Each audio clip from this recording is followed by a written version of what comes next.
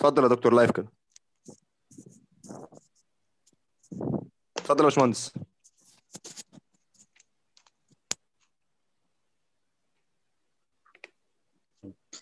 بسم الله الرحمن الرحيم. آه لسه ما ظهرش أنا حضرتك بدأت تسجل. حضرتك بدأت تسجل؟ أيوه كده يا. فندم فعلا. بسم الله الرحمن الرحيم. والصلاة والسلام على أشرف المرسلين سيدنا محمد خاتم الأنبياء والمرسلين. ندوتنا اليوم الحلقة رقم 31 آه، لشركة نور الهدى لإدارة المشروعات الزراعية. آه، الندوة اليوم الحقيقة فيها آه، محاضرتين. المحاضرة الأولى عن تقنية زراعة الأنسجة وتطبيقاتها الزراعية مع أستاذنا الدكتور فلاح حسن عيسى وزارة التعليم والبحث العلمي جامعة المثنى المحاضرة الثانية إن شاء الله هتكون مع آه، الدكتورة أماني. أمان أمان إسماعيل. أمان إسماعيل هتكون المحاضرة عن استحساس نسيج الكلص المتحمل للملوحة من خلال تقنية الزراعة النسيجية. آه، أهلا وسهلا بأستاذنا الدكتور فلاح وأهلا وسهلا بالدكتورة أماني. آه، وطبعا ندوة شيقة في زراعة الأنسجة اتفضل دكتور. مم. بسم الله الرحمن الرحيم. والصلاة والسلام على سيدنا محمد وآل بيته الطيبين الطاهرين وصحبه المنتجبين. بداية آه، أتقدم بالشكر الجزيل لشركة النور الهدى للاستشارات الزراعية وإلى مسؤولي الندوة العلمية ومنهم السيد السعيد السيد اللبان والمهندس آه، حاتم الكومي وإلى جميع السادة الضيوف الحضور آه، المتمنين التوفيق للجميع. محاضرتنا لهذا اليوم تتعلق بتقنية زراعة الأنسجة وتطبيقاتها الزراعية. مثل ما معروف آه، إنه تقنيه زراعة الأنسجة النباتية من الطرق الحديثة في مجال الإكتار السريع للنباتات للنباتات الصعبة الإكتار بالطريقة التقليدية.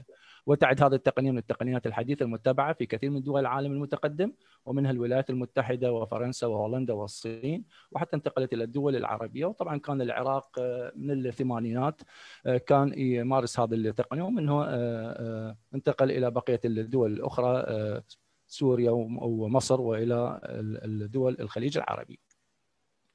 مثل ما معروف المزايا تقنيه زراعه الانسجه النباتيه ممكن اجراءها في أي وقت من السنة. تستخدم أقل حيز من المكان حيث يمكن إنتاج ملايين الشتلات في مكان الغرفة الصغيرة. آه، عملية الخدمة تكون سهلة ويسيرة لأن هي بظروف آه، المسيطر عليها. مسيطر عليها من ناحية الظروف البيئية لأن هي بداخل الحاضنة. ودرجه الحرارة إحنا نتحكم بها بالإضافة إلى ذلك إنه نقدر إنه نتحكم بطبيعة الوسط الغذائي اللي إحنا نستخدمه لإكثار هذا النبات سواء كان إكثاره لأغراض ال- الإنتاج التجاري أو أو لأغراض لإنتاج النباتات الطبية أو المستخلصات الطبية أو لأغراض أخرى وراح إنه آه، آه، نجيها بالتفصيل. انتاج أيضا النباتات الخالية من المسببات من المسببات المرضية وخصوصا الفيروسية. وكذلك أيضا انتاج مجال تربيه النبات لاستنباط سلالات عالية الإنتاجية مقاومة للامراض متحملة الملوحه أو متحملة للجفاف. وهذا راح نشوفها إن شاء الله بالسلايدات اللاحقة. لكل التجارب المنفذة بالمراكز البحثية اللي موجودة عندنا بالعراق وأيضا بالجامعات العراقية. إنتاج نباتات ثلاثية المجموعة الكروموسومية، تكثير النباتات الطبية المستخدمة بالصناعات الصيدلانية. بشكل عام المتطلبات مختبرات زراعة الأنسجة، أول شيء إنه نحتاج إلى مختبر لتعقيم الأوساط الزرعية والزراعية وتهيئة الزروعات. هذا المختبر اللي موجود أمامكم هو جزء من مختبرات دائرة البحوث الزراعية بمنظمة الطاقة الذرية السورية ونتمنى لهم إن شاء الله السلامة والأمان للشعب السوري الشقيق. هذا طبعا المختبر لتحضير الميديا وتهيئتها لأغراض الزراعة وهناك أيضا الغرفة لأغراض الزراعة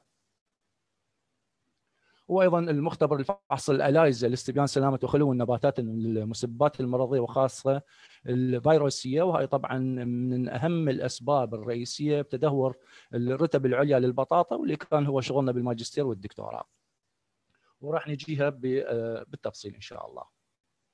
أيضا أم أنه لابد من توفر حاضنة لحضن الزراعات المكثرة نسيجيا وهاي الحاضنة بحيث أنه تحتوي على الرفوف والإضاءة نفس الإضاءة الطبيعية عن طريق الشمعات الفلوريسنت. وهناك بعض التجارب راح إن شاء الله أشوفكم الجانب الثاني من الإضاءة ومدى تأثيرها على نمو النباتات. وهاي المساحة الصغيرة اللي موجودة أمامكم من الممكن أنه اكثار المئات والآلاف من النباتات خلال موسم النمو بدون التقيد موسم الزراعة لأن الظروف الجميع جميع الظروف مسيطر عليها من الناحية البيئية ومن الناحية التغذوية للنبات. مراحل الإكثار الدقيق للأنسجة النباتية تمر بمراحل رئيسية، المرحلة الأولى هي مرحلة تأسيس الزروعات للمستأصل النباتي بعد التعقيم. ناخذ الجزء النباتي والمفروض إنه الجزء النباتي مأخوذ من نبات سليم حتى ما يتعبنا من ناحية الإكثار. وبعد ذلك إنه بعد ما نعقمه نعقمه أما بكلوريد الزئبق كنا بالثمانينات نعقم بكلوريد الزئبق وهي تعتبر من ملوثات البيئة. فالحقيقة بدينا بالتعقيم بالقاصر أو بالكحول 70% في سبيل إنه نسبة التلوث تكون قليلة بالمقارنة لو في حالة ان استخدمنا الكلوريد. الزئبق. الحقيقة بالميديا المزروعة إحنا راح نتحكم بالميديا التناسب هاي طبعا يختلف من نبات إلى آخر. بعض النباتات تكون الكالس وبعض النباتات تحتاج إلى بعض الهرمونات النباتية حتى تكون كالس وبعضها مثلا بعضها إنه تحتاج إلى ميديا لتكوين الجذور وخصوصا بالنسبة للفاكهة. أما بالنسبة لنباتات الخضار لا تكون بشكل طبيعي تكون الجذور وبشكل عام دائما إنه لما تزداد نسبة الاوكسين راح يساعد النبات أو الجزء النباتي على تكوين الجذور. أما إذا زاد السيتوكاينين بالمقارنة مع الاوكسين راح يساعدنا على تكوين الأفرع الجانبية وال shoot بشكل عام. المرحلة الثانية هي مرحلة التضاعف. بعد ما أخذنا هاي النباتات وحصلنا على النباتات نبدأ مرحلة عمليات ال subculture عمليات السب كلتشر اللي تحدث دائما بين فترة والثانية في سبيل أنه نكثر العدد المناسب من النباتات راح تشوفون هاي الرفوف بها الآلاف الشتلات. بينما هاي بالزراعة التقليدية تحتاج إلى دونمات وإلى مساحات كبيرة. بينما هنا أنت راح تنتج نباتات سليمة خالية من المسببات المرضية بظروف بيئية تكون مسيطر عليها من ناحية التغذية من ناحية الظروف البيئية. وأيضا بوقت قياس راح تحصل على النباتات المطلوبة. المرحلة الأخرى هي مرحلة الأقلمة. بعد ما حصلنا على هاي النباتات ونحاول إنه بعد ما ننقلها للبيت الزجاجي أو ال greenhouse مرحلة الأقلمة النباتات المحورة وراثيا باستخدام التطفير بالنظير المشع الكوبلت ال 60 وهي طبعا بدائره البحوث الزراعية بمنظمة الطاقة الذرية التركية. الحقيقة طبعا هم استخدموا الكوبلت ال 60 بال 2004 إحنا استخدمناه من الثمانينات من القرن الماضي. فلذلك كانت الدول العربية سباقه بهذا المجال. بنهاية القرن الماضي في هذا المجال وانتجنا كثير من الأصناف بالنسبة للحنطة والشعير والسمسم والذرة إلى آخره وأيضا بعض الدول العربية اللي تشاركنا في هذا المجال ومثبتة منظمة الطاقة الذرية العربية. أنواع مزارع نسيج الكالس أنواع المزارع للنسيج النباتي واحدة من هذه المزارع هو استخدام الكالس. الكالس عبارة عن نسيج غير متخصص. شلون نقدر نحصل نحصله عن طريق أخذ جزء نباتي ونزرعه في ميديا تحتوي بعضها مثل ما قلنا قبل شوية. أم أكو بعض النباتات رأسا مباشرة بمجرد الجروح راح يكون لك الكالس. الكالس هي الخلايا الغير متخصصة. وبعد ذلك إحنا راح نحولها إلى الخلايا المتخصصة ننتج من عندها ال somatic embryogenesis أو احتمال ننتج من عندها نبات يحتوي على ال root وال shoot أو مستخلصات طبية. مزرعة المعلق الخلوي ال cell suspension culture هاي بعض استخدام أو زراعة النباتات أو الخلايا المفردة. أو النسيج المفرد في المعالق الخلوية. هاي الغاية من عندها حتى نحصل على نباتات بحيث تقاوم مثلا على سبيل المثال الملوحة. بهاي الحالة إنه إحنا راح نضمن إن النسيج النباتي أو الخلية النباتية كلها مباشرة تلامس المحلول اللي أصلا بالأساس إحنا نريد نجرب مدى مقاومتها. لمقاومة مبيد مال الأعشاب مثلا أو مقاومة ملوحة بينما بالوسط الصلب الوسط الصلب الخلايا فقط الملامسة للوسط الصلب هي اللي راح تكون تعطينا المؤشر. أما البعيدة ما راح تعطينا المؤشر. بينما هنا لا راح يعطينا المؤشر بشكل صحيح واستخدام الشيكر بشكل مستمر. بالنسبة لهذه التقنية لتجهيز الاجزاء النباتيه بالأكسجين الدائب حتى النباتات ما تتعرض للاختناق. زراعة البروتوبلاست عبارة عن نزع جدار الخلوي الخلية وزراعة البروتوبلاست حيث يتم تكوين جدار خلوي جديد وانقسام الخلية مما يسمح بنقل خصائص مفيدة موجودة في بعض النباتات إلى نبات آخر رغم بعد المسافة بين النوعين، من الممكن انه الاستفادة من نوعين مختلفين، هذا بالزراعة التقليدية من سابع المستحيلات أنه يتم التهجين ما بين هذه الأنواع، لكن هنا بهاي التقنية من الممكن أنه إجراء هذه التهجينات بازاله الجدار الخلوي ما بين النباتات عن طريق استخدام بعض الإنزيمات أو الخمائر. تبدي تحلل لنا هذا الجدار وبعدين تكون جدار ثاني جديد. يشمل الخليتين وإنتاج هجين جسمي من خلال استخدام هذه التقنية والاستفادة من الصفات الجيدة لكلا النباتين بنبات واحد جديد. بالطبيعة ما نقدر إحنا نحصل على هذا الاختلاف في الأنواع ما بين النباتات بينما هنا عن طريق هذه التقنية من الممكن الاستفادة من عندها. أيضا زراعة المياسم وحبوب الطلع من الممكن من الممكن استخدام الاستجما أو البولين وزراعته للحصول على نباتات نقية وحادية المجموعة الكروموسومية. لكن هذا النبات يكون مثل ما قلنا الحادي المجموعة الكروموسومية. فلا بد من معاملته بالكولشيسين حتى نقدر نضاعف المجموعة الكروموسومية حتى يقدر يتولد عندنا إلى نبات كامل. وطبعا دائما يتكون نباتات أما تكون ذكرية أو نباتات الأنثوية وتحمل هاي الصفة المتنحية السائدة. وهي دائما جماعة ال breeding يستفادون من هاي الناحية. عندنا مزرعة أخرى هي زراعة أعضاء النباتات. ممكن استخدام ال shoot tip أو استخدام الورقة النباتية الساق. وبالتالي زراعته في ميديا لتكوين نبات كامل وبعد حوالي تقريبا شهر يبدأ عمليات ال subculture وإكثاره وهذا طبعا إحنا المعمول به بالدوائر البحثية اللي خاصة بهاي المختبرات. تقنيات أخرى عندنا زراعة البرعم الطرفي، زراعة البرعم الجانبي أو زراعة ال single node وهاي كلها كل جزء نباتي ممكن إنه ينتج نبات كامل. بشكل عام الخلية النباتية بها ظاهرة ال totipotency يعني الخلية النباتية من الممكن إنه تنمو إلى نسيج وهذا النسيج يتحول مرور الوقت عن طريق استخدام الميديا إلى العضو النباتي ويكون لك نبات كامل يحتوي على ال shoot وال root. هاي بالخلايا الحيوانية ما موجودة. هسه حاليا بدأت ال stem cells والخلايا الجذعية تبدي آآ آآ تمشي على نفس هذا المنوال وهناك الكثير من هذا البحوث في هذا المجال ولا زالت في مرحلة البحث. بالنسبة للتجارب التجارب نفذيها بمنظمة الطاقة الذرية وزارة العلوم والتكنولوجيا حاليا إنتاج ال micro tubers بتقنية الزراعة النسيجية. نأخذ الانتاج التقاوي للرتب العليا للبطاطا، نأخذ ال sprout اللي من الدرنه، نأخذ هاي الدرنات اولا نخليها بجو مظلم بعض الأحيان إذا كانت مزرعة ما عندنا أي مشكلة نأخذ ال sprout من عندها راح راح تنمو بشكل سريع بعد أسبوعين أما إذا كانت ما مزرعة لابد من معاملتها بال gibberellic acid في سبيل حتى نحصل على ال sprout ونبدي بعدين نقصه ونعقمه وبعدين إنه نزرعه. مرات بعض الأحيان بعض الطلبة يسألوني يقولوا لي دكتور إحنا أخذنا ال sprout بس الحقيقة نسبة النمو مالته كانت بطيئة.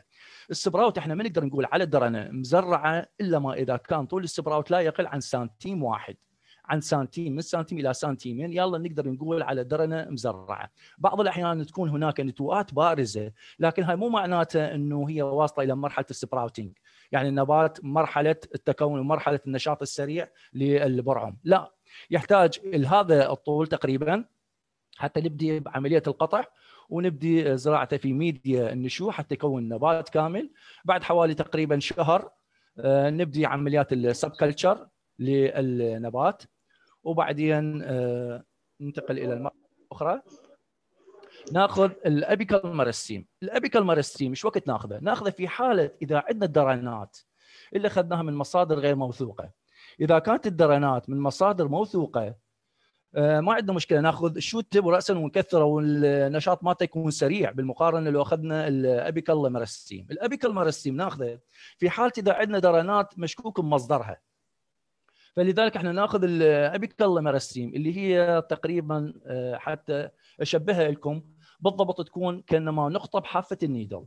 ناخذها ونزرعها في ميديا النشوء حتى نحصل على نباتات ال free virus. زين. هاي جماعة يسألوني يقول لي زين دكتور نقدر ناخذ وياها ال leafy primordia؟ إحنا نقدر ناخذ وياها ال leafy primordia هاي اللي موجودة اللي حواليها. بس هاي راح تعطينا نسبة خلو من المسببات المرضية راح تكون قليلة. ليش؟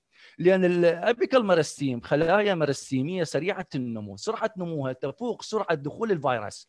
فإحنا نضمن نضمن إنه هاي المنطقة تكون على درجة عالية من خلوها من الفيروسات. وهاي طبعا الرسم التشريحي للابيكال مرسيم فإحنا إذا أخذناه راح نبدي آه، عملية الإكثار. تكثير النباتات آه، آه، بعد ما نفحصها ونشوف النباتات توصل إلى حد معين نبدي نعلم النباتات تعليم النباتات بحيث نوصل للعدد المناسب. دي بعد.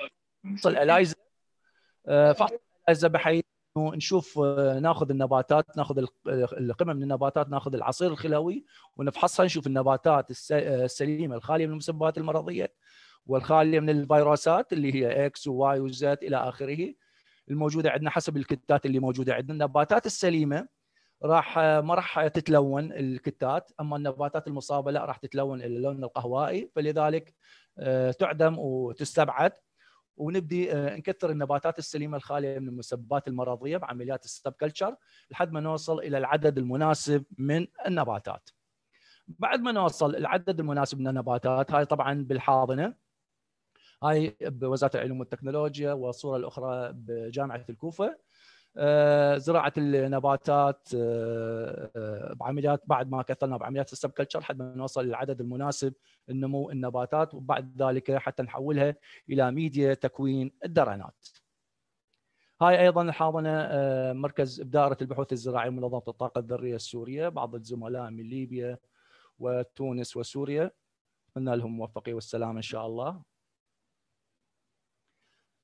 مرحلة تكوين الدرنات الدقيقة. ناخذ ال single node وهاي العقلة اللي موجودة هنا. ناخذها ونزرعها في ميديا تكوين الدرنات آه، ميديا تكوين الدرنات تحتوي على ال cytokinin آه، بدرجة أساسية وأيضا تحتوي على الاوكسين وبعض ال Murashige وال Skoog وتحتوي أيضا على الفيتامينات والهرمونات. وبعد حوالي ثلاثة أشهر تبدي الدرنات إنه توصل إلى مرحلة النضج.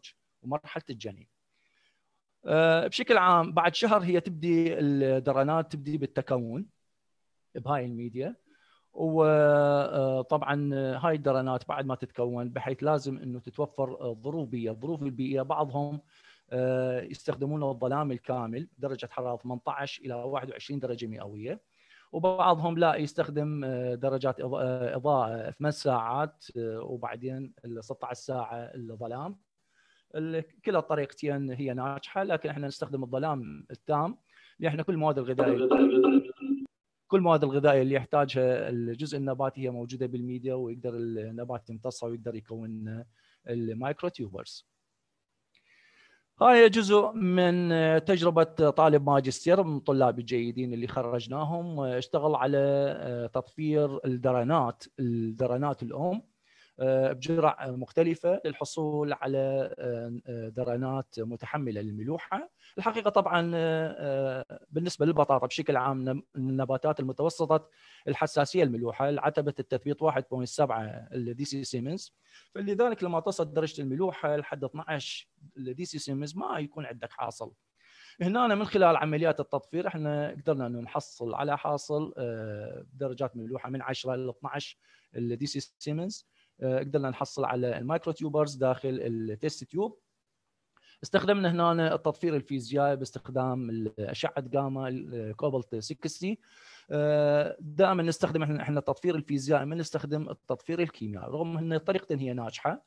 بس من الناحية البيئية وسلامة ال technician اللي يشتغل على هاي التقنية أنا أفضل التطفير الفيزيائي. ليش؟ لأن التطفير الكيميائي ملامسة ال technician للجزء النباتي احتمال إنه تنتقل بشكل أو بآخر. عن طريق الملامسة استنشاق بعض الأبخرة هاي المواد الكيميائية أو آه، من خلال بعد نهاية التجربة اتلافها قد تكون إلى تروح إلى المياه الجوفية آه، عن طريق آه، مياه المجاري أو عن طريق الغسل وراح تسوي لنا تلوث بالبيئه في حالة استخدام الصوديوم أزايد بالنسبة على سبيل المثال. آه، بالتطفير الكيميائي فلذلك إحنا دائما نستخدم التطفير الفيزيائي. الدول الأوروبية لا عندهم عندهم شركات متخصصة بأخذ هذا الجزء النباتي أو المادة الكيميائية اللي خاصة بالتطفير الكيميائي. عندهم شركات خاصة وعندهم آليات متبعة وعندهم نظام ال safety جدا عالي. فلذلك ما عندهم مشكلة في هذا الجانب. بعد ما حصلنا على ال micro tubers ال micro tubers اللي نحصلها تكون بأحجام صغيرة ما بين حجم العدس آه، حب ما ما بين ما بين حجم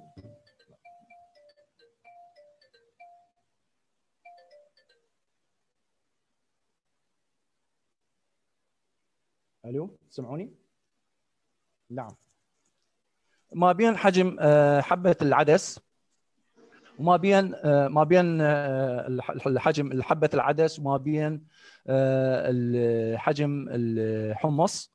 فلذلك حجم بذرة الحمص فلذلك إنه تحتاج إلى معاملات خاصة لأغراض التزريع عملية السبراوتي لأن تمر مرحلة الدورمنسي هنا اللي عندنا بالدرنات.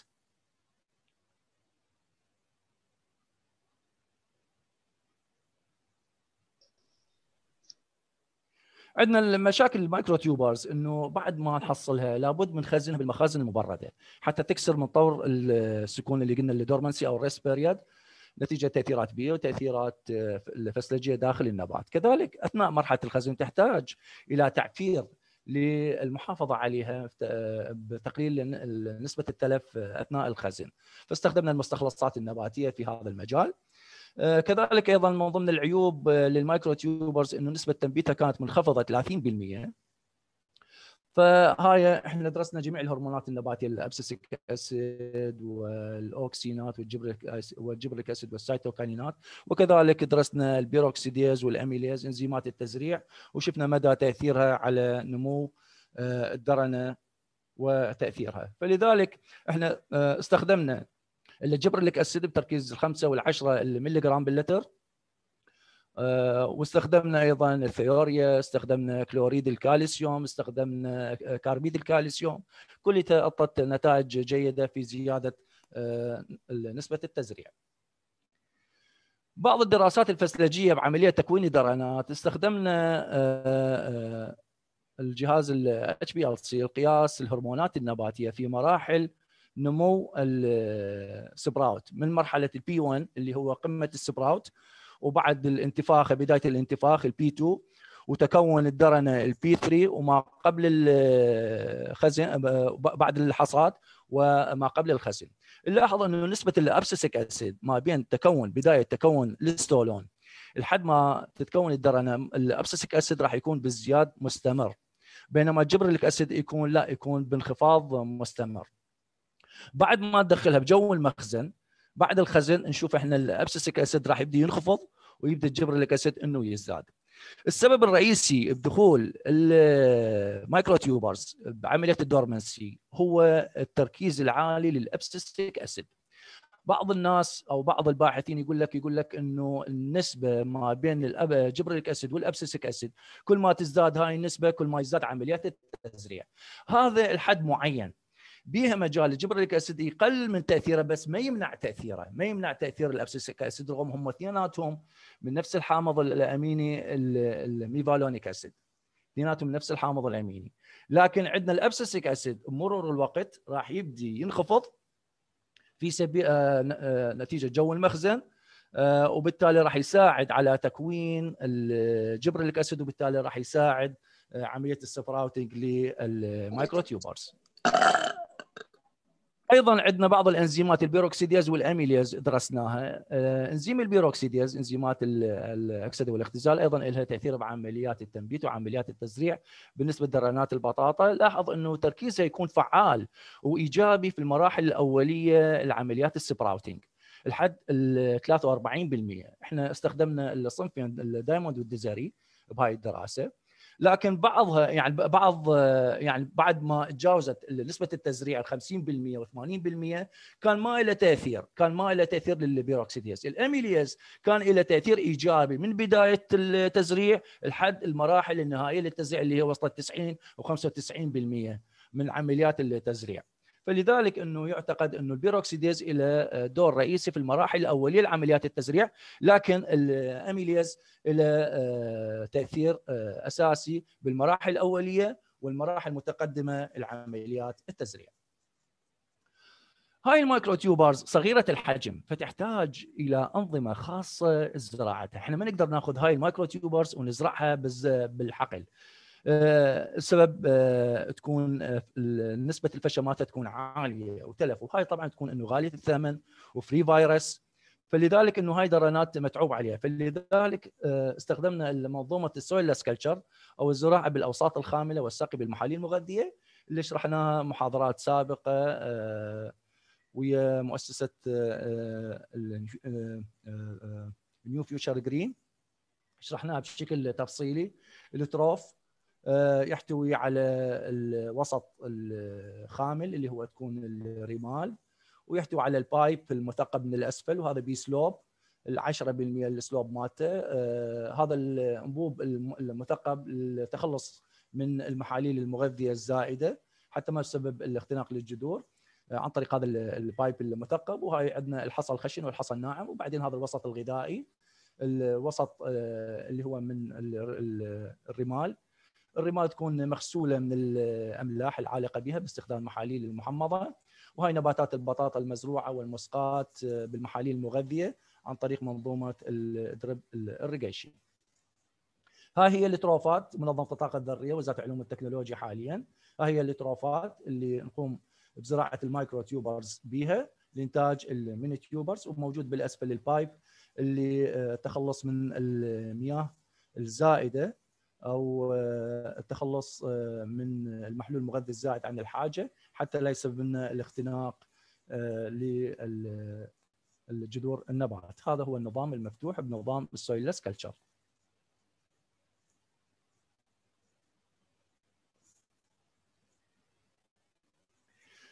نباتات بطاطا طبعا شهر من الزراعة يلاحظ قوة النمو للنباتات وسلامتها المظهريه من الاصابه منظمة الطاقة الذرية العراقية وزارة العلوم والتكنولوجيا.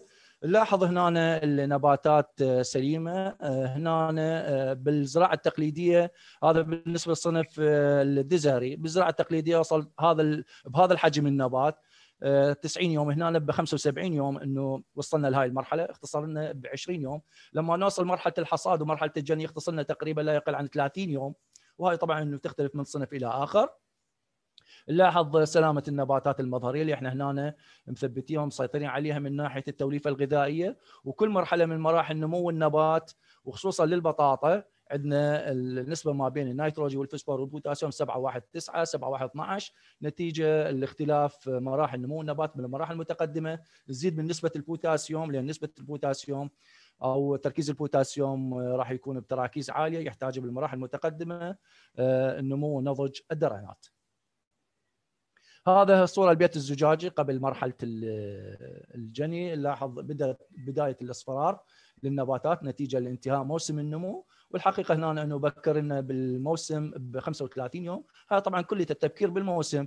راح تقلل لك من الكلفة وتقلل لك من الوقت وتبكر لك بالحاصل. وكلها بتأثير إيجابي راح ينصب بالربح وبالتالي التأثير الإيجابي للمستثمر أو الفلاح. مرحلة النضج والحصاد للبطاطا. عندنا بعض التجارب الأخرى تأثير الشد الملحي وإضافة بعض البادئات في تحسين قلويد الكابسيسين نبات الفلفل خارج الجسم الحي. البادئات مو ال primer ات اللي نقصد بها، البادئات عندنا الأحماض الأمينية الفنيل ألانين اللي لها تأثير بتكوين مادة الكابسيسين، مادة الكابسيسين تعتبر من مضادات الأكسدة ومستخلصات طبية. ومهمة من الممكن إنه آه، إنه ننتج مادة الكابسيسين من الكالس داخل جو المختبر بدون ما آه، نزرع الآلاف الدونامات ونحصل على مواد فعالة آه، لكن هنا بجو المختبر ونقدر إحنا نحصل على هاي المادة الفعالة من خلال هذه التقنية. أيضا مضادات الاكسده صبغه الانثوسيانين بتأثير الشد الملحي آه، تأثير الشد الملحي إلى تأثير بزيادة آه، الانثوسيانين انثوسيانين أيضا يفيدنا كمضادات أكسدة وأيضا آه، في معالجة أمراض السرطان إلى آخره.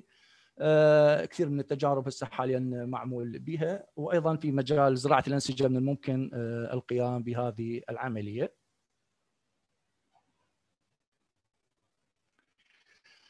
من التجارب الأخرى عندنا تجربة طالب دكتوراه استجابة اللهانه الحمراء للإكثار بواسطة الأجنة الجسمية وإنتاج البذور الصناعية. في الواقع طبعا البذور الصناعية من الممكن أنه إنتاجها من خلال من خلال الأجنة الجسمية السوماتيك ال embryogenesis عندنا ناخذ الكالس الناتج من النباتات اللهانة ونزرعها بالميديا وبعد آه، بعض المعاملات الخاصة راح تكون الأجنة الجسمية اللي موجودة منها. الحقيقة الجنين الجسمي عندنا النوعين من الأجنة جنين جنسي ناتج من البذور وجنين جسمي اللي هو ناتج اما يكون direct أو الغير مباشرة. الغير مباشرة عن طريق الكالس والدايركت هو عن طريق زراعة الأعضاء وعن طريق العضو النباتي. بالوقت اللي الزرع راح يكون لك الأجنة الجسمية. فهنا هاي الأجنة الجسمية بعد ما ناخذها. الجنين الجسمي والجنين الجنسي يمر بنفس المراحل اللي هو مرحلة الكروي والقلبي والتوربيدو. وبعدين يكون الفلقات نفس المراحل يمر بها لكن الحقيقة بالواقع الجنين الجنسي يكون نشط أقوى من الجنين الجنسي آه، من الجنين الجسمي العفو الجنين الجنسي يكون أقوى من الجنين الجسمي. ليش؟ لأن هذا أصلا بالأساس متكيف على وضعه. يحتوي على مواد غذائية يحتوي على النيوسيلا يحتوي على الهرمونات نباتية طبيعية مكيف بشكل طبيعي. أما هذا راح يكون بشكل صناعي. لكن إحنا مرور الوقت إحنا نساعد آه، هذا الجنين الجسمي لأن الجنين الجسمي راح ينتج لنا نبات مشابه للنبات الأم، الجنين الجسمي الجنسي هذا ناتج جاي من عمليات التلقيح والاخصاب، هذا ما يشابه النبات الأم. وخصوصا النباتات النادرة اللي إحنا رايديها، فلذلك في حالة الإكثار نستخدم الأجنة الجسمية. هنا عندنا استخدام جزء نباتي للجنين الجنسي بطول 2 إلى 2.5 ملم باستخدام المجهر الضوئي داخل آه، اللامينر بجو يكون يكون معقم. خلط هاي الاجزاء النباتيه بال sodium alginate ألجينات الصوديوم داخل أواني زجاجيه على جهاز ال magnetic stirrer وهاي طبعا يحتوي آه، هاي الكبسولات إنه تحتوي على آه، تحتوي أيضا على الهرمونات النباتية تحتوي أيضا على بعض المضادات الحيوية وتحتوي أيضا على ال Murashige and Skoog اللي هو ال macro وال micro elements اللي يحتاجها النبات اللي يحتاجه الجنين. هاي مخطط يوضح تغليف الأجزاء النباتية باستخدام الصوديوم الجينات، سحب الجزء النباتي باستخدام الماصه، فتحة آه، قطرها 2 إلى 4 ملم لضمان وضع جزء نباتي واحد داخل الكبسوله ثم تسقط داخل خليط من الجزء النباتي مع الصوديوم الجينات داخل الوعاء الحاوي على كلوريد الكالسيوم. وتترك الكبسولات لمدة 15 دقيقة. وتستخرج الكبسولات وتوضع في مصافي ذات أقطار صغيرة وتغسل بالماء المقطر ثلاث مرات للتخلص من بقايا النباتات.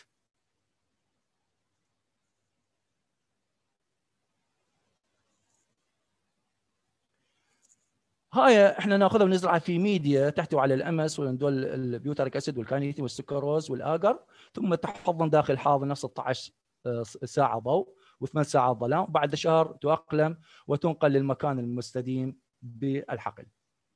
هاي الحقيقة هناك آه، آه، يكون عندنا زراعه البذور الصناعية. هنا زراعة البذور الصناعية اللي ناتجه من هاي التقنية وأيضا زراعة ال somatic embryogenesis. وأيضا زراعة البذور الحقيقية. لاحظ آه، من الحاله المورفولوجيه للنبات ما تمكن آه، ما تقدر أنه تفرق بيناتها. والحقيقة طبعا البذور الصناعية من الممكن هناك بحوث في مجال أنه إحنا نخزن هاي البذور آه، بالنيتروجين السائل إلى فترات طويلة. بسبب آه، ضيق الوقت إحنا ما يعني الباحث ما قدر إنه يخزنها لفترات طويلة لا نزرعها إنه مباشرة بالميديا حتى يشوف المقارنة ما بينها وبين البذور العادية وما بين ال somatic embryogenesis الطبيعية ونشوف مدى الاختلافات اللي بيناتها وانطتنا نتائج متقاربة من ناحية النمو والحاصل. أهم النتائج استجابة آه، نبات آه، استجابة نباتات اللهانه آه، إنتاج الأجنة الجسمية بالطريقة المباشرة من خلال استخدام الأوراق الفلقيه نبات اللهانه استخدام منظم النمو 2 4 D. وأيضا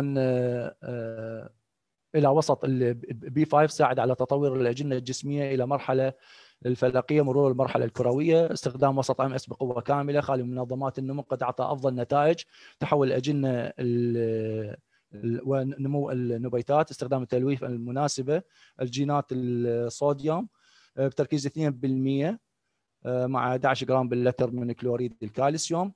هنا اعطتنا نباتات مقاربة للنباتات آه، الناتجة من الأجنة الجسمية الطبيعية وكذلك أيضا من ناحية آه، زراعة الشتلات الناتجة من البذور الحقيقية. أيضا سوينا النتائج الارتباط الوراثي باستخدام تقنية الربد أعطت تطابقا وراثيا للنباتات الناتجة من الأجنة الجسمية مع نباتات البذور الحقيقية.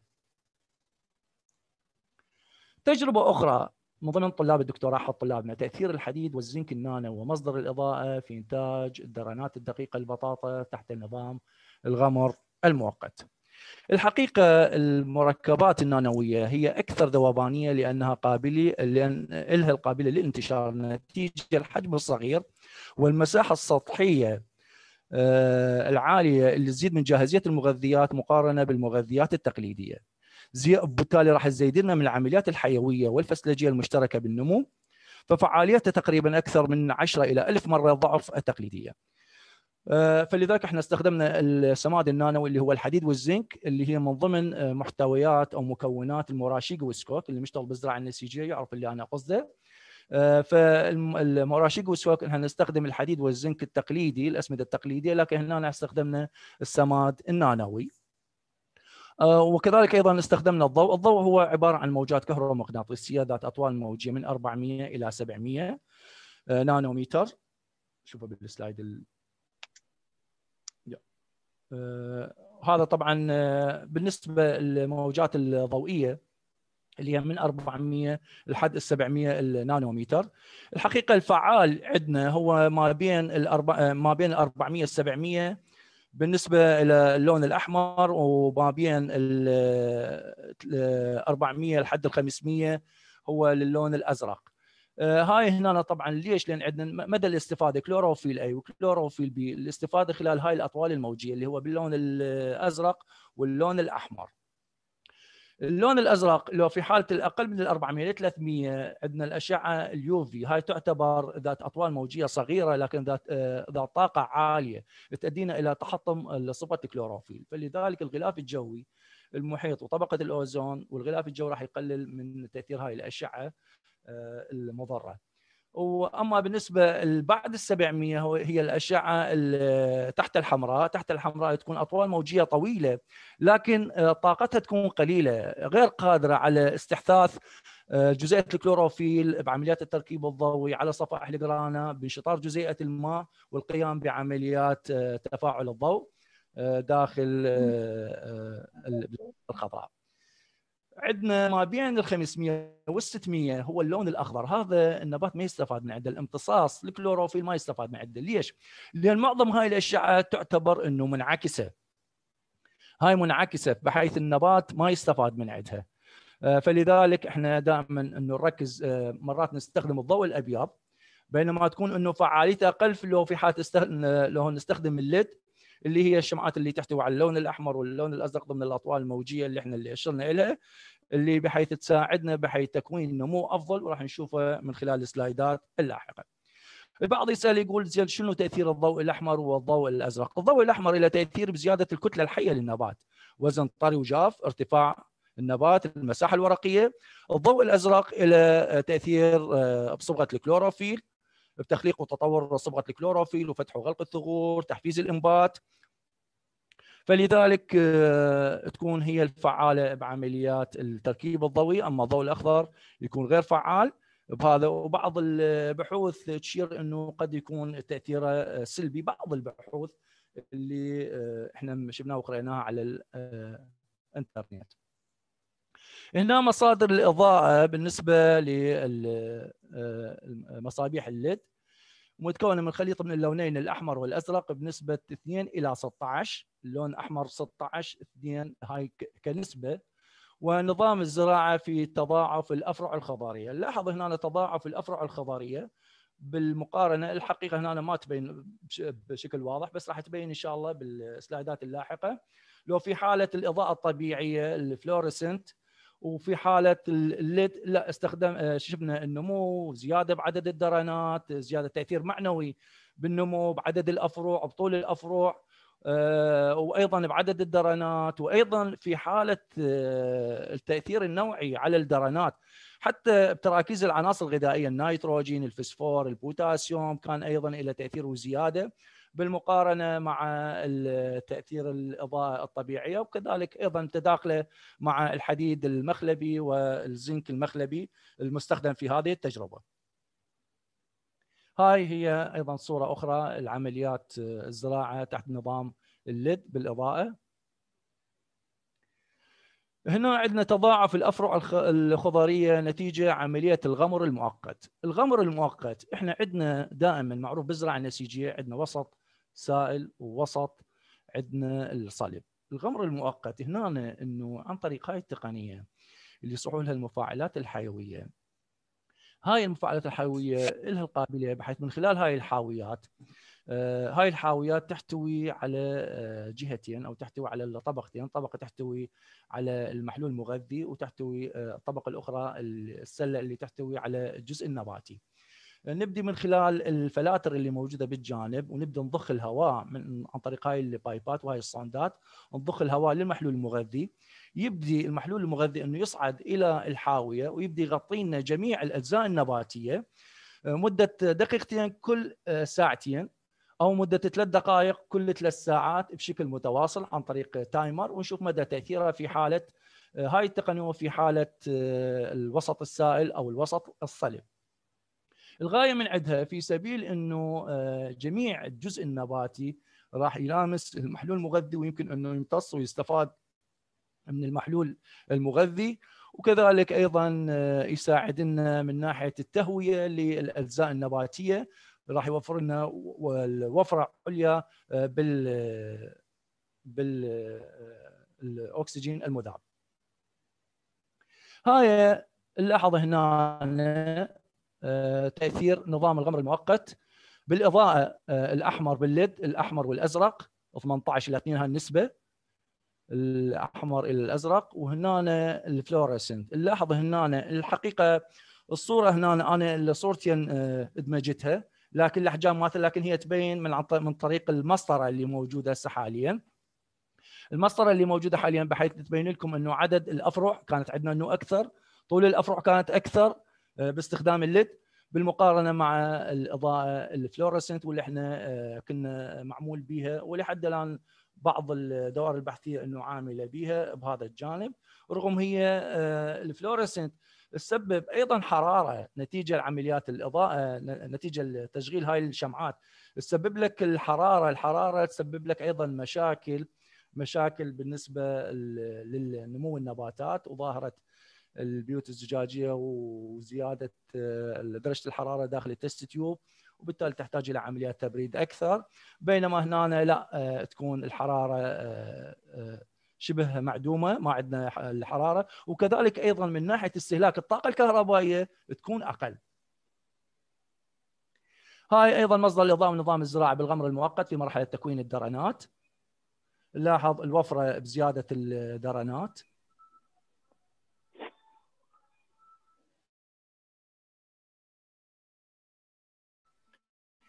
الاجزاء النباتيه تحت النظام الزراعي بالغمر المؤقت آه، اللي عندنا آه، الغمر المؤقت آه، بالحديد والزنك النانوي وفي حالة الحديد والزنك التقليدي.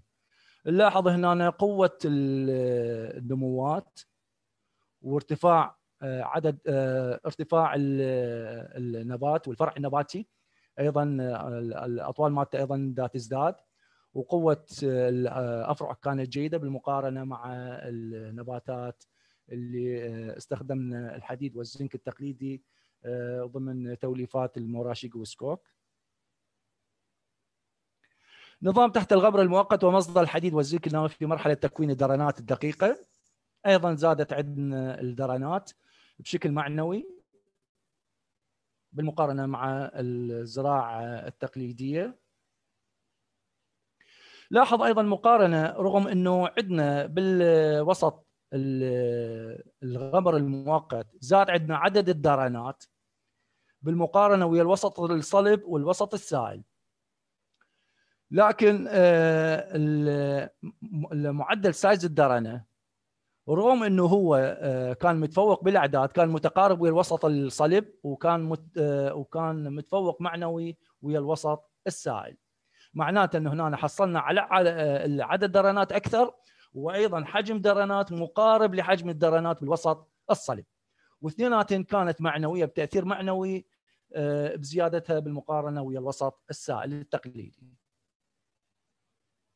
أهم الاستنتاجات دراسة تأثير الحديد والزنك النانو ومصدر الاضاءه في إنتاج الدرنات الدقيقة البطاطا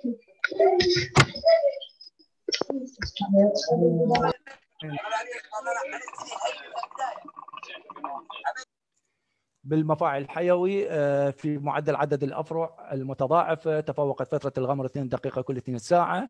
تفوق النباتات النامية تحت نظام الغمر المؤقت بالمفاعل الحيوي على النباتات النامية في الوسط السائل والصلب في تضاعف الأفرع وتكون الدرنات الدقيقة ومحتواها من العناصر المغذية. إمكانية استعمال مصابيح ال LED اللي هو الأحمر والأزرق في مرحلة تضاعف الأفرع ومرحلة تكون الدرنات الدقيقة. كونها قد أعطت أفضل النتائج مقارنة بالمصابيح ال fluorescent البيضاء وعندنا النقطة الأخيرة تفوق النباتات النامية بالوسط الغذائي المجهز بالحديد والزنك النانوي على النباتات النامية بالوسط الغذائي الحاوي على الحديد والزنك التقليدي في أغلب صفات مرحلة تضاعف الأفرع وتكون الدرنات الدقيقة. You are using نجي هسه حاليا آه، بالنسبة لتقنية زراعة الأنسجة بها معوقات لو ما بها معوقات بها معوقات. اللي من معوقاتها هي التكاليف العالية للإنشاء. التكاليف العالية للإنشاء هي في المراحل الأولية بالنسبة للمستثمرين إحنا دائما نقول لهم بالمراحل الأولية وخصوصا اللي آه، اللي يريد مثلا إنتاج تقاول الرتب العليا البطاطا أو زراعة النخيل. هاي دائما بالمراحل الأولية بس إحنا دائما نحبذ إنه زراعة الخضر على محاصيل فاكهة لأن تكون سريعة النمو مردودها الاقتصادي يكون سريع بالمقارنة مع الفاكهة وأيضا عندنا نسبة المواد البينولية تكون قليلة بالميديا فإحنا بالنسبة للتكاليف العالية للانشاء من ناحية المختبرات اللامينارات المواد الكيميائيه الزجاجيات هاي كلها مرور الوقت نتيجة للربح المتواصل من هذا راح تدي آه، بشكل تدريجي راح تغطي لك التكاليف وراح تعطيك الأرباح آه، الصافية بعد الفترة من الزمن. تحتاج دقة وخبرة في العمل وكوادر متخصصة في هذا المجال. وعندنا مشاكل التلوث. هاي مشاكل رئيسية عندنا مشاكل التلوث وكل اللي يشتغلون آه، بتقنيه التشو كلتشر آه، عندهم مشاكل التلوث. هاي نتيجة لأسباب كثيرة منها أسباب فيزيائية اللي منها انقطاع التيار الكهربائي. هذا بالانقطاع التيار الكهربائي راح تزداد عمليات التنفس. وزيادة الحرارة راح تزداد من عمليات التنفس وسرعة التنفس ويزيد من استهلاك المواد الغذائية على المقاومة وتشجيع النموات الفطرية والبكتيريا باختلافها بالنمو بالوسط الغذائي ويسبب لك الإصابة الفطرية أو البكتيريا بالوسط الغذائي. عندنا أيضا أسباب فسلجيه تكون مو مرضية، أسباب فسلجيه في حالة إذا كانت العناصر الغذائية في الوسط الغذائي كانت غير مضافة بشكل صحيح. احتمال يكون تركيز أقل من الحد الصحيح اللي انت ضايفه كان يكون عندك standard رئيسي في حالة اللي اللي اللي يصنع الستوكات ومن الستوكات يخلي الميديا الكاملة Murashige و Skoog. أما اللي يأخذ ميديا كاملة من الأسواق المحلية هاي ماكو أي مشكلة لأن أنت تأخذ ميديا كاملة مجرد مباشرة إنه تذوبه بس إحنا نفضل دائما إنه الطالب العربي دائما نحبذ إنه بحيث يتعلم البديهيات وال basic مال تصنيع المحلول المغذي أو تصنيع ال Murashige وال Skoog وشلون يصنع الستوكات.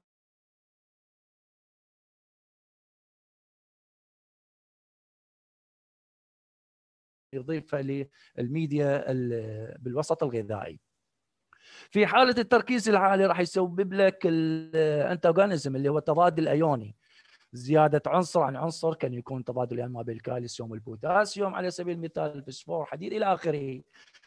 ما راح ندخل في هذا الجانب لأن بها آه، آه، مواضيع آه، المتشعبة بهذا الجانب. أيضا هناك أخرى أسباب ميكانيكية استخدام أدوات غير معقمة أو يكون المعقمات اللي مستخدمها معقمات تكون غير فعالة. مرات بعض الأحيان الكحول اللي مستخدمة أكثر من مرة نسبة التعقيم مالته راح تكون منخفضة. فلذلك إنه راح يسبب لك تلوث فيجب التدقيق على هذا الجانب. وكذلك أيضا استخدام الجزء النباتي من نباتات سليمة. وهذا الجزء المهم. إحنا بالوقت اللي ناخذ جزء نباتي من نباتات سليمة مجرد إحنا التعقيم مالتنا راح يكون تعقيم سطحي للجزء النباتي. ما متعمق داخل النسيج النباتي لأن إذا تعمق داخل النسيج النباتي راح يسبب لنا تلف وتاخير بمراحل النمو جزء احتمال يأثر وحرق بالبراعم حتى وراح يأثر لنا مشاكل النمو للنبات أو للنبيتة داخل التست تيوب. فلذلك دائما نستخدم الكحول بتركيز 70% القاصر تركيز 10% زين مدة ربع ساعة وبعد أنه نغسلها بالماء المقطر أكثر من مرة تصل خمس مرات للتخلص من المادة المعقمة وبعد ذلك هذا طبعا كلها تجري داخل الأجواء المعقمة داخل اللامينر للتخلص من المواد المعقمة ليكون آه، زراعتها بشكل سلس. عندنا ظاهرة أخرى هي ظاهرة ال vitrification أو ظاهرة التزجج. شنو ظاهرة التزجج؟ تكون أفرع مائية تكون رفيعة وهاي طبعا من ناحية الأقلمة تكون ضعيفة نتيجة المحتوى المائي العالي نتيجة زيادة الرطوبة داخل ال test tube. فلذلك معالجتها معالجتها واستخدام الأغطية آه، ذات الأقطان المعقمة طبعا آه، مكان آه، الأغلفة البلاستيكية. وكذلك أيضا تقليل ال cytokinin بعمليات ال subculture وخصوصا نباتات الخضر، نباتات الخضر بشكل عام لها القابلية على تكوين الجذور بالميديا بدون ما نضيف بدون إحنا ما نحاول إلى تكوين جذور للنبات. لا هو اوتوماتيكيا راح يكون لك لأن له القابليه على تكوين جذور. هاي الجذور اللي تتكون من ضمن وظائفها راح تصنع لك ولو بنسبة قليلة جزء من ال cytokinin، جزء من ال cytokinin اللي يصنعه بالإضافة إلى ذلك المخزن اللي موجود داخل ال explant اللي موجود اللي التزارع بالميديا والضايفه الميديا التضايف أيضا cytokinin ات هاي راح تسبب لك زيادة التفرعات وعملية ال vitrification فلذلك انت المفروض لازم تقلل مرور الوقت تقلل من السيتوكاينينات اللي تضيفها للميديا حتى ما تظهر لك هاي الحالة. عندنا أيضا مشاكل التباينات الوراثية من أهم المشكلات اللي تعيق بعض طرق الإكثار الخضري. معمليا هو امكانيه تباينات وراثية التي تنقسم إلى تغيرات وراثية وأخرى غير وراثية. الجينيتك معناتها حدوث طفرة وراثية في عدد الكروموسومات سواء بالزيادة أو النقصان أو حدوث تغيرات في الكروموسومات. الغير وراثية هذا النوع من التغيرات غير ضارة لأنه مجرد خروج النبات من ظروف الاجهاد ال stress داخل المختبر راح يعاود النبات النمو الطبيعي. أسباب التغيرات آه، الوراثية نتيجة لعمليات ال subculture بشكل مستمر. فلذلك إحنا ما ننصح آه، إلى أكثر من آه، المرحلة الثامنة بعمليات ال subculture المفروض ال subculture الثامن بعدها لا نبدي بإنشاء زروعات جديدة أو للتعرض بعض منظمات النمو منها الاوكسينات التوفور دي لها العلاقة ببعض الأحيان ولو بنسبة قليلة بتغير ال genetic أو الشفرة الوراثية داخل ال DNA وبالتالي راح تسبب لك تغيرات وراثية داخل جزء النباتي وهاي طبعا إحنا راح نبدي بس نستخدم في حالة استخدام الكالص بعمليات الإكثار نستخدم البصمة الوراثية في سبيل ضمان سلامة النباتات وتشابهها الجينية مع النبات الأم. وشكرا جزيلا لإصغائكم.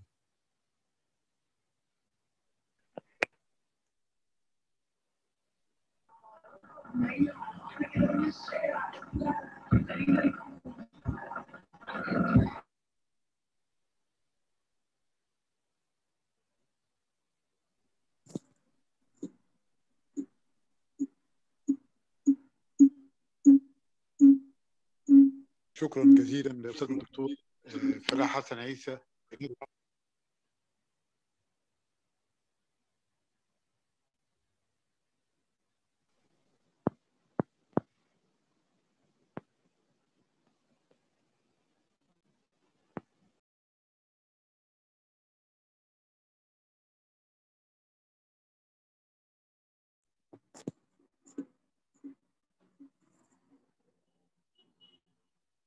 باشمهندس سعيد حضرتك سامعني؟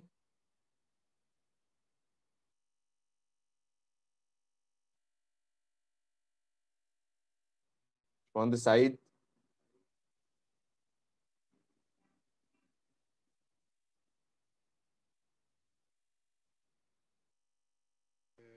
البطاطا بيقع عليها.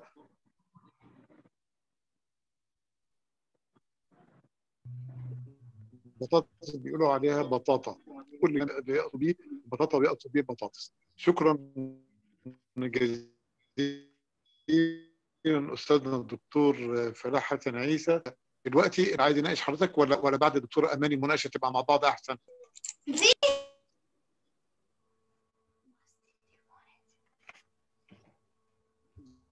دكتور فلاح.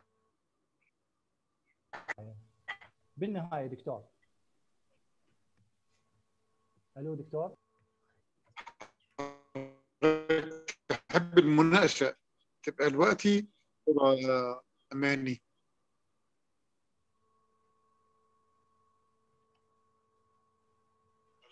أيوه دكتور فلاح. ألو السلام عليكم.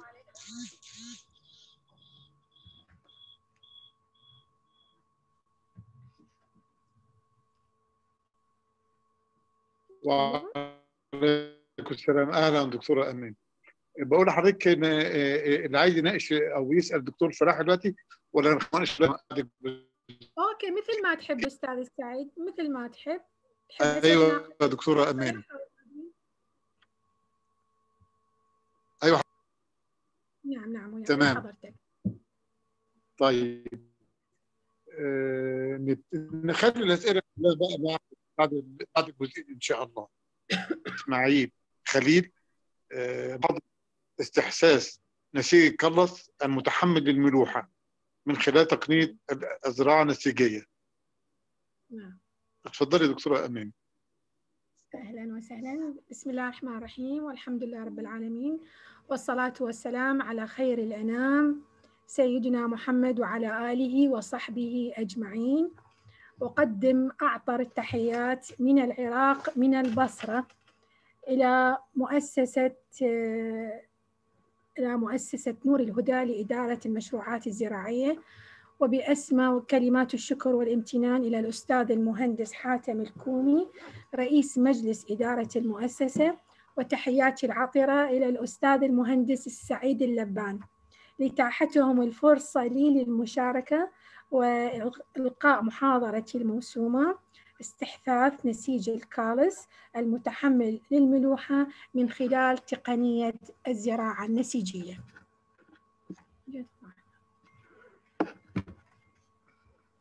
نعم.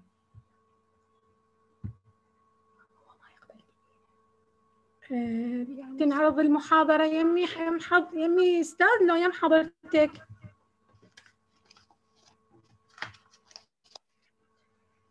آه حضرتك آه، آه، مفتوح الشير حضرتك تشيري طيب بس أنا يعني أنا الحقيقة شو علي إن أقدم الدكتورة أماني الدكتورة أماني إسماعيل آه، خليل نعم. وزارة الزراعة دائرة البستنة أبحاث البرجسيه في البصرة بالعراق. نعم. أنا حبيت بس أعرف حضرتك يا دكتورة اماني okay اتفضلي okay. حضرتك. نعم. بس آه، ينعرض يم حضرتك ال- PowerPoint لو يم يم ال laptop ال share okay خير إن شاء آه الله. من اللابتوب حضرتك تحطيني حطها على desktop على ال desktop وتفتحين بعد ما تفتحي ال share. تفتحين من ال share نفسه مش من ال file.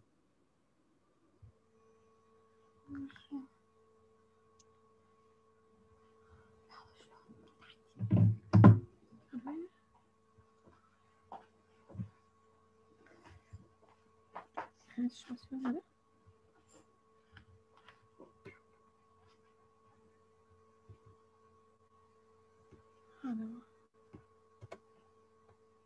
تمام إيه طلعت كبري بقى ال file. نعم. نعم. عنوان عنوان المحاضرة تمام. هو استحثاث نعم. تمام اتفضلي الله ينور okay. آه، استحثاث نسيج الكالس المتحمل للملوحة من خلال تقنية الزراعة النسيجية.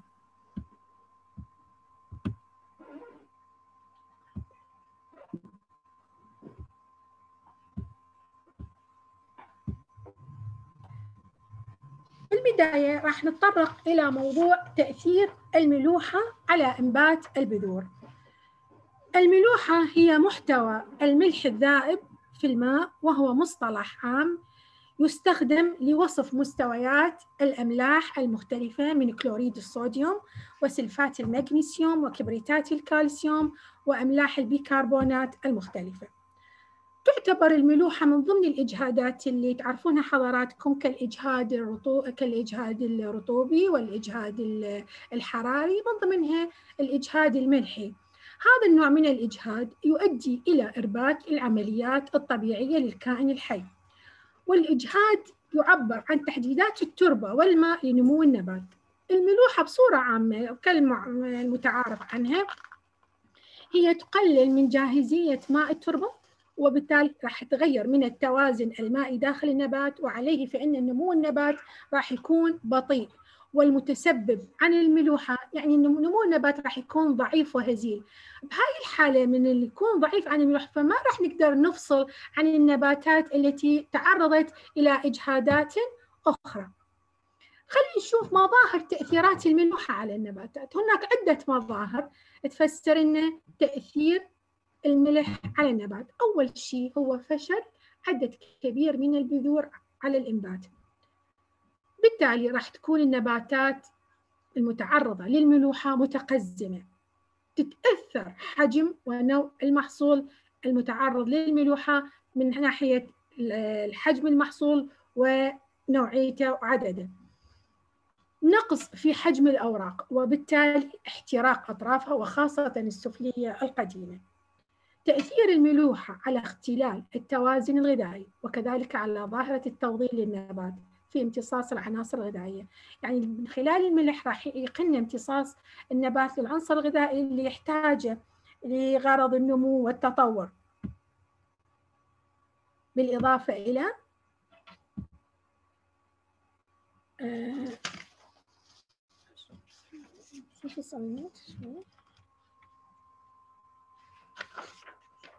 بالإضافة إلى المعوقات الأخرى اللي يتعرض لها النبات.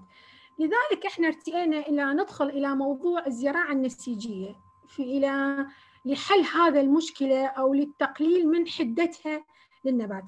فكانت تقنية الزراعة النسيجية فد يعني فد نقطة تحول حتى نقدر نحد من تأثير الملوحة وخصوصاً أركز على كلمة وخصوصاً في محافظة البصرة جنوب العراق تعاني من كمية ملوحة غير طبيعية بالأراضي اللي مزروعة بالبصرة وخصوصا في جنوب المحافظة بالذات. راح نتطرق هسه على الزراعة النسيجية شنو نقصد بالزراعة النسيجية؟ زراعة الأنسجة هي عبارة عن تنمية وزراعة الأنسجة أو الخلايا النباتية بمعزل عن الكائن الحي. يتم ذلك في بيئات مختلفة للنمو منها الميديا الصلبة وشبه الصلبة والسائلة وكل هذه الأمور تتم تحت ظروف بيئية معقمة متحكم بها من قبل الباحث أو القائم على عمل البحثي. تعتبر تقنية الزراعة النسيجية أو علم الزراعة النسيجية من المجالات المهمة في عملية التنمية الوراثية. وأن الهدف الأساسي من الزراعة النسيجية هو إنتاج كميات كبيرة من النباتات المماثلة جينيا لنباتات المصدر وفي فترة قصيرة مقارنة مع إنتاج الزراعة النسيجية آه، أقصد مع الطرق الكلاسيكية المتبعة في إكثار النباتات. انتشرت هذه التقنية في السنوات الأخيرة لعدة أسباب منها تخزين الجينات النباتية التي لا لا تنتج بذور أو التي من الصعب تخزين بذورها. بالإضافة إلى إنتاج فسائل نباتية بسرعة لغرض إشباع السوق التجاري أو لغرض التصدير. التربية والتعديل الوراثي لبعض المحاصيل المهمة. تكثير النسيج الجذري أو السيقان المتحورة في صناديق خاصة تسمى bioreactor لغرض استخلاص مواد أيضية مهمة في المجال الغذائي أو الطبي. سمي هذا العلم أيضا بالإكثار الدقيق ال micropropagation اللي هو نقصد به يعود إلى تقنية الزراعة النسيجية. إن الكثير من الخلايا النباتية الجسمية ليست تناسلية. بحيث تعتبر بحيث تعبر عن أجزاء من الجينات التي لم تعبر عنها سابقا. وتتطور بالتالي إلى نبات كامل ضمن ظروف مناسبة مثل ما ذكرت الحضر حضراتكم الميديا الوسط الغذائي والأجواء المعقمة اللي يتم بها نمو النسيج. كما أن النجاح في زراعة خلايا ونسيج أعضاء النباتات يتطلب المادة الأولية النباتية المناسبة ذكرتها الوسط الغذائي المناسبا فضلا عن المدة الزمنية أو الجدولة الزمنية للمعالجات الهرمونية للوصول إلى إمكانية عضبة للنمو وتوجيه التمايز.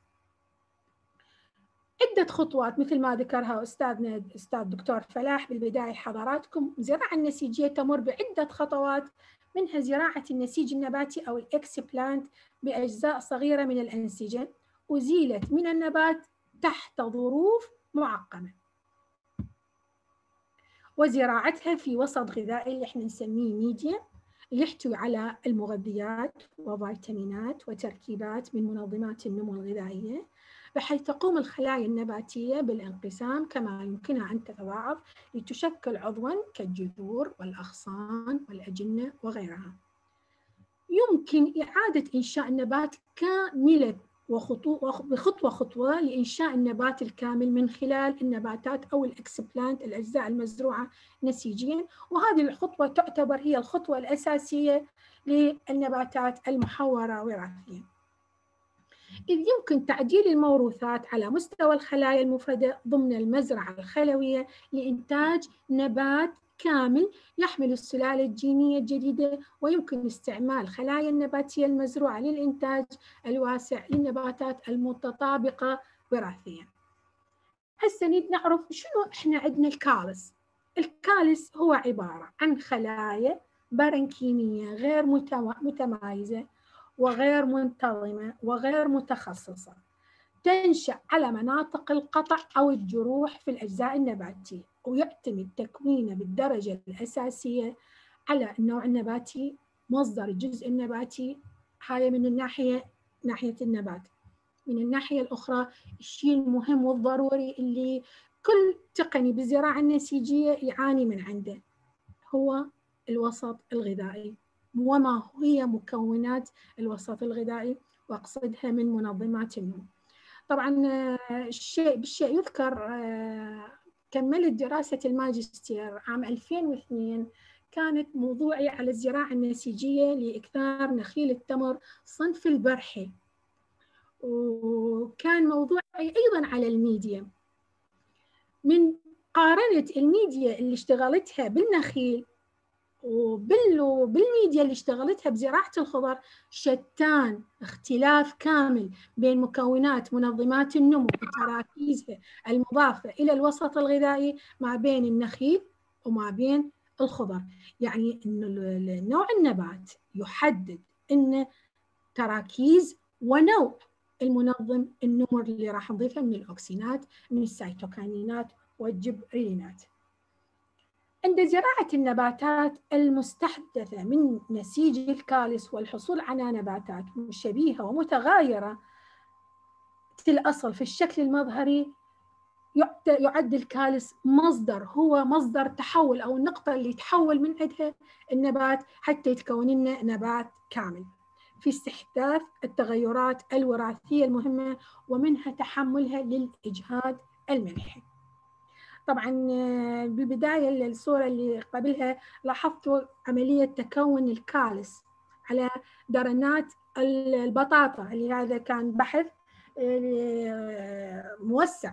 يعني نبات البطاطا واتخذنا عدة أصناف ودرسناها حتى نعرف مدى تحملها للملوحة ولاحظتوا تكون الكالس وشكله وطريقة تكونه.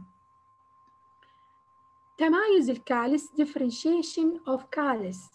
إن عملية التمايز وإخلاف النباتات من الكالس تعتمد قلنا بالدرجة الأساسية على الجزء النباتي المستعمل فضلا عن منظمات النمو النباتية المستخدمة والمضافة إلى الوسط الغذائي حتى نكون من خلالها نسيج الكالس. الجيد لنسيج الكالس في وسط الزراعة يحصل التوازن. ذكرتها حضراتكم التوازن الهرموني بين الأوكسينات والسيتوكينات.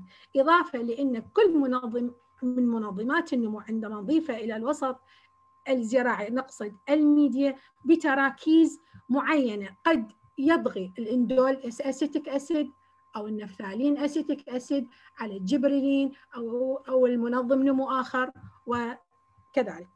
يعمل الأوكسين بوجود السيتوكانين يعني إحنا ما نقدر نتخلى عن منظم يعني ننفرد باستخدام منظم نمو معين وهاي بها دراسة يعني موسعة وعميقة وإن شاء الله إذا سنحت لنا الفرصة هم نلقي بها محاضرة ونشوف تأثير منظمات النمو النباتية على الميديا الوسط الغذائي لنمو نسيج الكالس لنباتات الخضر بالذات لأن هذا موضوعنا اللي جاي نتطرق له هسه. الأوكسينات بوجود السيتوكينات تعتبر كمفتاح لبدء الانقسام وأن التراكيز العالية من الأوكسينات يحدث لها تأثير في زيادة النمو من خلال زيادة معدل انقسام الخلايا. تلاحظون حضراتكم بال test tube؟ الانابيب الاختبار اللي امام حضراتكم نسيج الكالس يعني ما شاء الله بوقتها من طلعنا هذا النسيج يعني قمنا يعني نخاف عليه لا حد يضربه عين من كميته ولونه والحمد لله ما صار عندنا أي تلوث أو أي يعني أمور خلتنا نتلف ال explant أو نعيد ال subculture كذا مرة. لا الحمد لله يعني وصلنا إلى مرحلة من خلال تراكيز.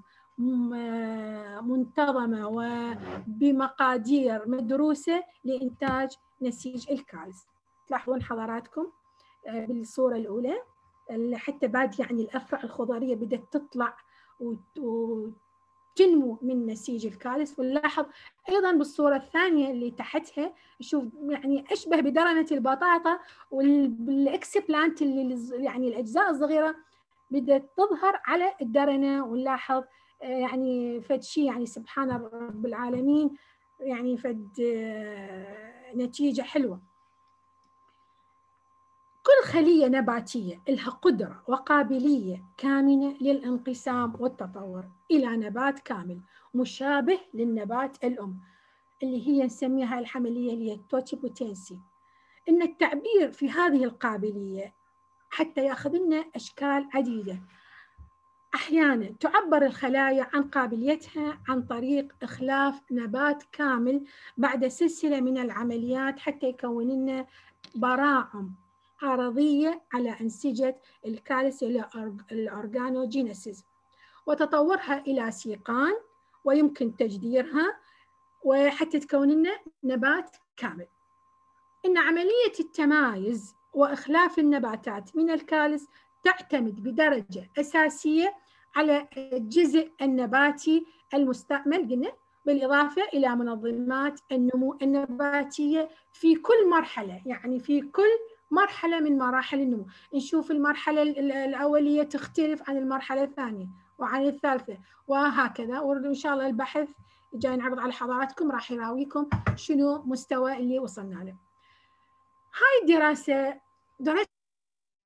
درسنا بها ثلاثة أصناف من البطاطا هي الزتة أرنوفا سفاري وهي هولندية المنشأ من الرتبة سوبر إليت. استلمتها من دائرة البستنة دائرتي المركزية بغداد مشروع إنتاج تقاوي البطاطا في الهندية والمعتمدة من وزارة الزراعة العراقية اللجنة الوطنية لتسجيل واعتماد الأصناف والمصدقة آه، من دائرة فحص وتصديق البذور في وزارة الزراعة. شلون بدينا به؟ تم تقطيع الأفرع الخضرية بواقع عقدة واحدة زرعت على وسط غذائي من الهرمونات النباتية مع أملاح Murashige و Skoog طبعا على فكرة أملاح Murashige و Skoog هي الأملاح الأساسية المنظ... اللي نضيفها للوسط الغذائي الميديا وهي أملاح معروفة لها جدول خاص بها. حضنت هذه الزروعات تحت الظلام وتحت درجة حرارة زائد ناقص 26 درجة مئوية وتركناها لمدة 25 يوم. جاي تلاحظون حضراتكم ألف وباء وجيم هاي لكل صنف اللي هي الزتة والأرنوفا والسفاري. نعم. وزننا 100 ملي جرام من الكالس وزرعناه على وسط غذائي Murashige و Skoog مجهز بتراكيز مختلفة من ملح كلوريد الصوديوم. النقي طبعا ال pure هو. تراكيزه كانت صفر 80 100 120 140 160 ملي حضرنا نسيج الكالس الذي تعرض للإجهاد الملحي في غرفة نمو. تحت الظلام على درجة حرارة زائد ناقص درجتين هي 27 درجة الأساسية. بعد مرور ثلاث أسابيع أي 21 يوم من الزراعة من الزراعة سوينا السب كلتشر على مكونات وسط غذائي بنفس بنفس تراكيز الوسط الغذائي الأساسي أو المركزي اللي حصلنا على الكالس نلاحظ بعد مرور شهر من الزراعة استخرجنا نسيج الكالس تلاحظون حضراتكم الصورتين هنا يعني واضحة للعيان. 100 ملي مول و80 ملي مول وال control معاملة السيطرة. بينما 120 و140 و160 نسيج الكالس صار بي يعني die out تلاشى وصار بي بداية بي browning وانتهى. نعم. أه بتجربة أخرى أضفنا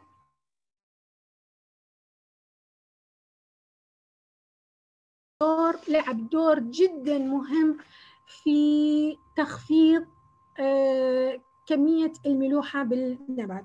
وطبعا حيل ساعدني وبالبداية من انصدمت بهاي ال browning والتلف النسيج يعني صابني فد إحباط معين لكن الحمض السالسلك سوانا في طفرة معينة. وأحب أن أنوه إلى بعض المعلومات زملائي متابعينا عن حامض السالسلك اسمه الكيميائي 2 hydroxy benzoic acid حامض السالسلك يعود إلى مجموعة واسعة من الفينولات النباتية.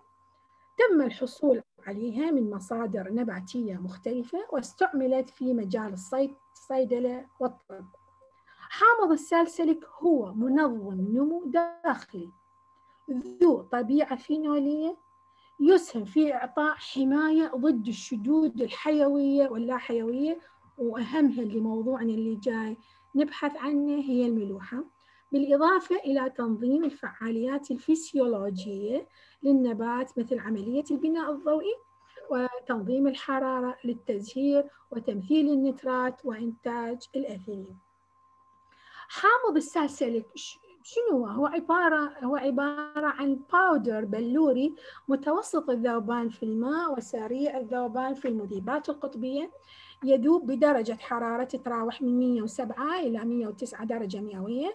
درجة حموضة المحلول المائي المشبع له هو البي اتش مالته 2.4 حامض السالسليك يمكن أن ينتقل ينقل فعالية بشكل نشط وتحدث له تحولات أيضية ويحدث له ارتباط conjugation وينتقل بسرعة من مكان إضافته إلى العديد من الأنسجة النباتية.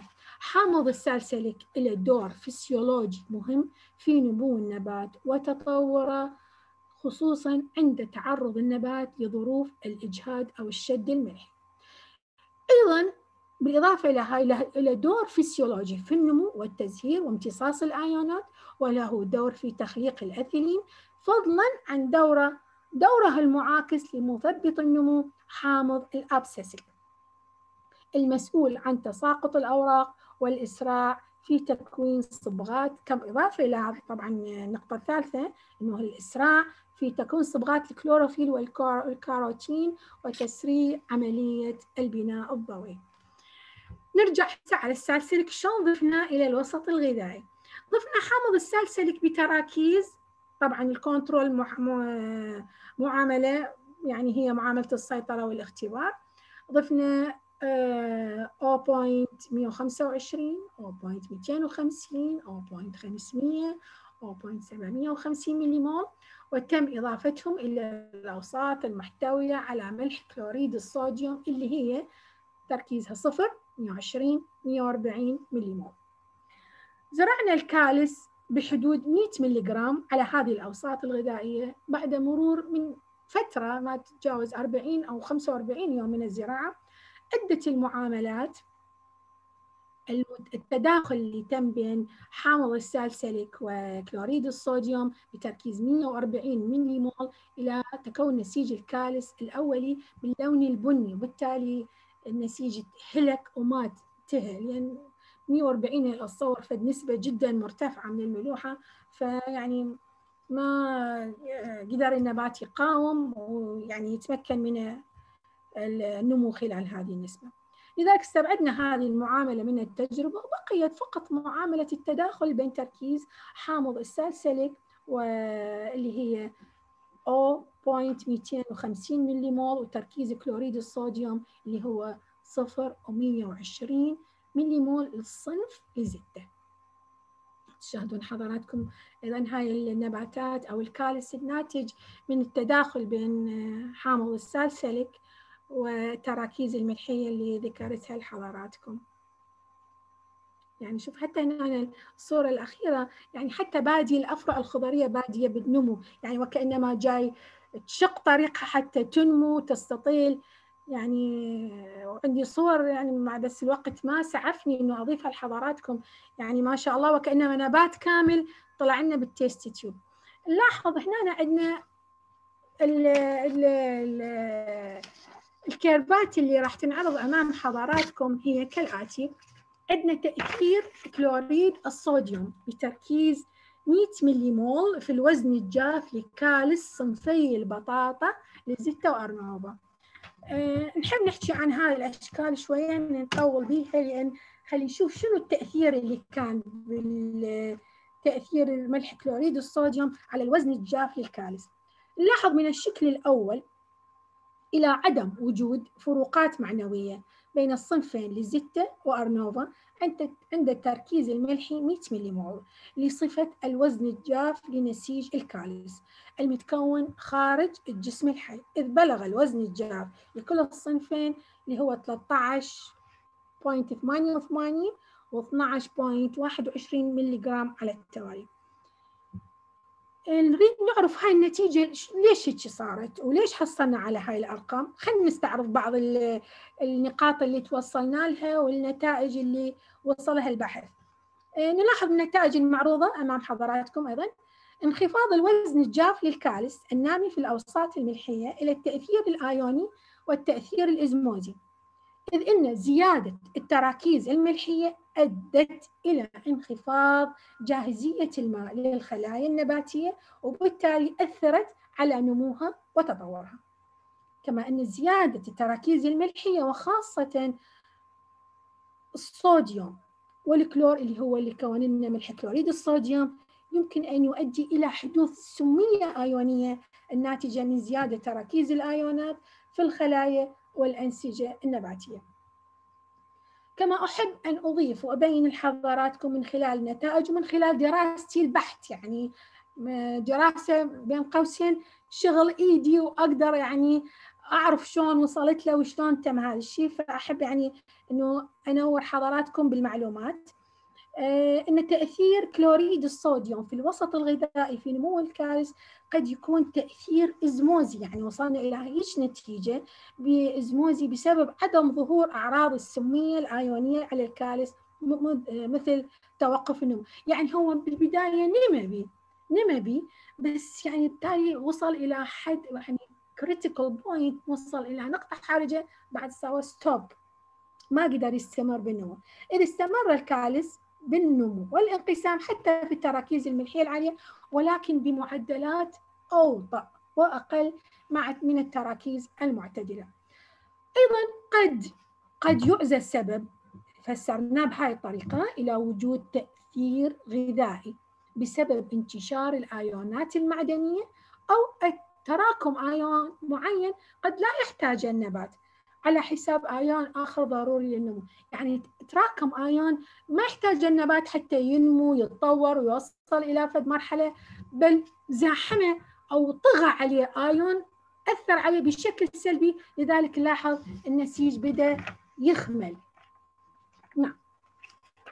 آه نشوف الشكل الثاني هو تأثير كلوريد الصوديوم بتركيز 100 ملي مول في تركيز الكربوهيدرات الذائبة الكلية لكالس صنفي البطاطا لزيتا وأرنوبا يبين الشكل العفو عدم وجود فروقات معنوية. أيضا بين الصنفين لزيتا وأرنوبا في تركيز الكربوهيدرات في نسيج الكالس إذ بلغت على التوالي 38.9 و 37.8 ملي على جرام وزن جاف على التوالي.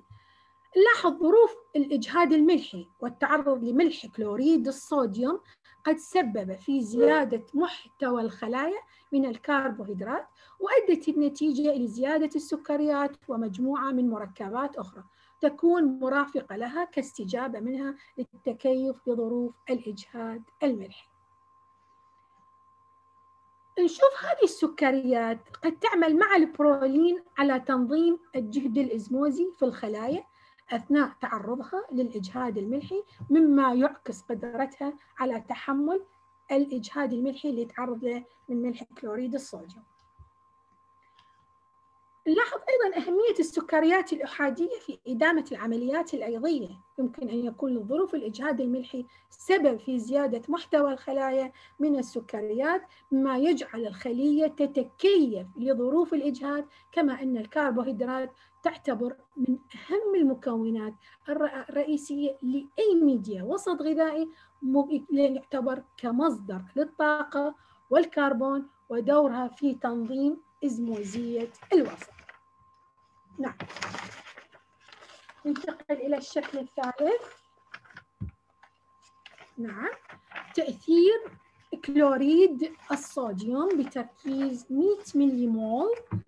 في تركيز برولين لكالس صنفي البطاطا لزيتا وأرنوبا أيضا نلاحظ من الشكل تفوق الصنف لزيتا على الصنف أرنوبا في تركيز الحامض الأميني البرولين إذ بلغت 5.4 و 4.19 مايكروغرام على جرام وزن جاف على التوالي. نسبة الزيادة بلغت 20.28% عند المعاملة بالتركيز الملحي 100 ملي مول زين. نشوف ليش تمت الزيادة في محتوى البرولين؟ نتيجة لحدوث اختلال في التوازن الإزموزي داخل الخلية نتيجة لتعرضها للإجهاد الملحي. ونلاحظ أيضا من خلال النتائج اللي توصلنا لها أن الخلية النباتية تقوم بزيادة إنتاج الحامض الأميني البرولين في السيتوبلازم المعرض للإجهاد الملحي. للإجهاد الملحي حتى شنو؟ حتى تنخلق لنا حالة من التوازن بين الفجوة والسيتوبلازم من جهة ومن ومن جهة أخرى بين الفجوة والسيتوبلازم والمحيط الخارجي للنبات. من المعروف أن للبرولين دور مهم وفعال للحال للخلية النباتية عند تعرضها لظروف الإجهاد الملحي. تمام؟ إيش راح يتم هنا؟ راح يتم هنا البرولين راح يتم تعديل الإزموزي للوسط للخليه النباتيه أو الوسط الغذائي اللي ناميه به. وإزالة الجذور الحرة ومصدر للطاقة ال ATP كما أن له دور مهم وفعال في إيقاف نشاط الأنزيمات المحللة مثل الأنزيمات المكونة للأثيلين التي يزداد نشاطها تحت ظروف الإجهاد الملحي نعم. ننتقل إلى الشكل الرابع. الشكل الرابع يبين لنا تأثير كلوريد الصوديوم بتركيز 100 ملي مول في النسبة بين الصوديوم والبوتاسيوم لكالس صنفي البطاطا لزيتا وأرنوفا. أيضا نلاحظ إلى عدم وجود فروقات معنوية بين الصنفين في النسبة المئوية بين البوتاسيوم والصوديوم للكالس المتكون خارج الجسم الحي. ننتقل للشكل اللي بعده. تأثير التداخل بين كلوريد الصوديوم وحامض السالسليك في الوزن الجاف لكالس الصنف لزيتا. راح نلاحظ من النتائج المعروضة أمامكم تفوق معاملة التوليفة بين كلوريد الصوديوم وحامض السالسيليك على معاملة التركيز الملحي 100 ملي مول. في التأثير على الوزن الجاف للكالس والتي سجلت 16.20 و 13.39 ملي جرام على التوالي المعامل المعاملتين انخفضت معنويا عن معاملة السيطرة ال control اللي هي بدون ملح without any addition من كلوريد الصوديوم في الوزن الجاف للكالس للصنف لزيتا والبالغة 20.73 ملغ إن زيادة التراكيز الملحية في الوسط الغذائي قد قللت من جاهزية العناصر الغذائية المهمة والضرورية لنمو النبات وتطوره فضلا عن انخفاض المحتوى المائي في وسط النمو كما أن الآيونات الداخلة في تركيز الصوديوم قد سببت سمية في وسط النمو بالتالي أثرت سلبا على نمو النبات. نلاحظ أن عملية الانقسام ونمو الخلايا أثرت أيضا على الوزن الجاف لنسيج الكالس كما نلاحظ من النتائج عدم زيادة وزن نسيج الكالس بإضافة التوليفة من كلوريد الصوديوم وحامض السالسيليك إلى أن التراكيز المضافة قد لا تكون بالمستوى المناسب للنسيج مثل ما بينت حضرتكم من عرضنا المعلومات عن نسيج الكالس. أو أن كلوريد الصوديوم قد أثر بشكل سلبي على نسيج الكالس وبالتالي أدى إلى نهايته يعني ما ما نقدر إنه نكمل ونوصل للشيء يعني الحالة المطلوبة. ننتقل إلى الشكل الأخير. نعم.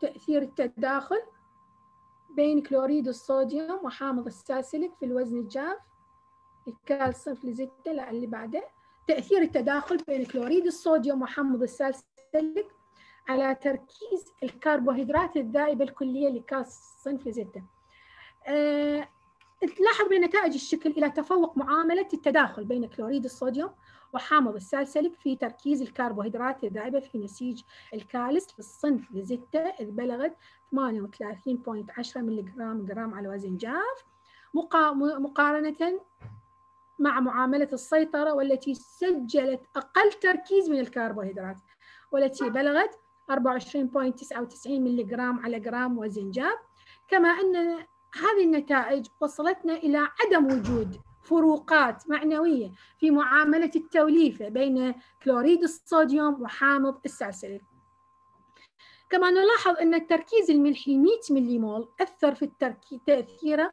على تركيز الكربوهيدرات الذائبة الكلية في نسيج الكالس إذ بلغت 38.10 و 38.9 جرام وزن جاف على التوالي. خلي شوي نبحث بهاي النتائج اللي توصلنا لها. نلاحظ أن زيادة تركيز الكربوهيدرات في نسيج الكالس بفعل تأثير التوليفة أو التداخل بين ملح كلوريد الصوديوم وحامض السالسيليك أدى إلى مؤشر مهم. لزيادة تحمل النبات للملوحة من خلال ثبات الأغشية الخلوية مما قلل من التسرب الخلوي عند تعرض النبات للإجهاد الملحي فضلا عن دور المهم والفعال لحامض السالسلك اللي نعتبره كمنظم إزموزي للتغلب على مشكلة زيادة السالبية في الجه... في الجهد المائي الناتج عن ارتفاع الملوحة. نلاحظ أيضا من خلال النتائج المعروضة أن زيادة الكربوهيدرات في التراكيز الملحية العالية بوجود حامض السالسيليك في الوسط الغذائي إلى تمثيل وتحلل السكريات المتعددة إلى سكريات أحادية وثنائية وقد تعمل هذه السكريات مع البرولين إلى تنظيم الجهد الإزموزي في الخلايا أثناء تعرضها للإجهاد مما يعكس قدرتها على تحمل الإجهاد وزيادة محتوى الكلي من السكريات.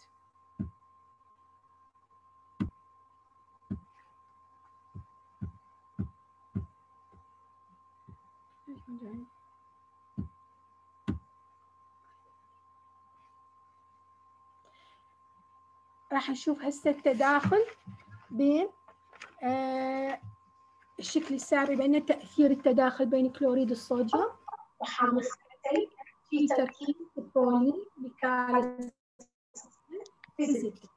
إذا نلاحظ النتائج المعروضة أمام حضراتكم تفوق معاملة التداخل أو معاملة التوليفة بين حامض السالسيليك وكلوريد الصوديوم في التركيز الحامض الأميني لبرولين اللي بلغت 5.70 مايكروغرام جرام وزن جاف بينما سجلت معاملة السيطرة أقل تركيز إذ بلغت واحد point خمسة وتسعين مايكروغرام جرام وزن جاف في حين معاملة التوليفة معاملة التداخل بين كلوريد الصوديوم وحامض السالسيليك ومعاملة التركيز الملحي 100 ملي مول لم تسجل أي فروقات معنوية. أي فروقات معنوية في التركيز في تركيز الحامض الأميني البرولين للنسيج الكالس للصنف لزيتا والتي بلغت 5.70 و 5.4 مايكروغرام وزن جاف على التوالي. نلاحظ أن الحامض الأميني له دور مهم في حماية النبات من الإجهاد الملحي يعني صار له فد فد يعني شلون كأنما فد غلاف protect يحميه من تأثير الملوحة وتأثيرها على نمو النبات وتطوره. إذ يعمل على حماية الخلية ومحتوياتها إزموزيا من الفقد الرطوبي وأضرار الخلايا وأضرار الملوحة من خلال دوره في تعديل الإزموزية مثل ما ذكرنا حضراتكم بالبداية بين الفجوة والسيتوبلازم نشوف أيضا معاملة التوليفة بين حامض السالسيليك وكلوريد الصوديوم قد سجل الزيادة بتركيز الحامض الأميني البرولين في نسيج الكالس للصنف زيتا وقد ازدادت بصورة طردية مع مستويات الملوحة مقارنة مع معاملة السيطرة. يعزى السبب وقد يعني من خلال هاي النتائج اللي حصلنا عليها هذه الزيادة إلى الأخ إلى الاختلال في التوازن الإزموزي داخل الخلية. لذلك تقوم الخلية بزيادة إنتاج البرولين في السيتوبلازم. يعني تبدي تضخ برولين حتى تسوي نفسها فد يعني حماية حتى تحمي نفسها من الأضرار الملحية اللي جاية تتعرض لها. لذلك تقوم الخلية تقوم الخلية بزيادة إنتاج برولين في السيتوبلازم المعرضة للشد الملحي فضلا عن خلق وهاي شيء يعني من خلال النتائج وصلنا له يعني إلى شيء جدا مهم. يخلق لنا حالة التوازن الفسيولوجي بين الفجوة والسيتوبلازم والمحيط الخارجي للخلية. وصلنا إلى عدد من الاستنتاجات. طبعا البحث بعدة أمور تطرقنا لها مو فقط الصوديوم والبوتاسيوم والبرولين والكربوهيدرات لا. أيضا قسنا الدهون قسنا أيضا البروتين تطرقنا إلى الأفرع الخضرية إلى الأوراق إلى وصلنا إلى الدارنات بعد ما سوينا لها الهاردنينج التقسية.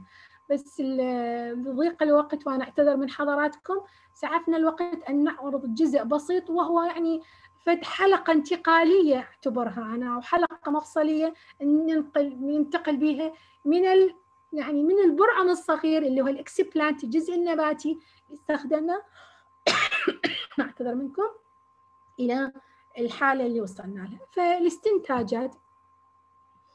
معاملة نسيج الكالس بملح كلوريد الصوديوم قد زاد من النمو الخضري وتركيز البرولين والكربوهيدرات وتركيز بعض الآيونات وبعض المؤشرات الكيميائية أدت لنا إضافة حامض السالسلك وبتركيز 0.25 مليمول إلى نسيج الكالس إلى التقليل من التأثيرات مستويات الملوحة في إحداث هبوط في تركيز أيون البوتاسيوم وهذا التأثير اعتمد على الصنف المستعمل في الدراسة.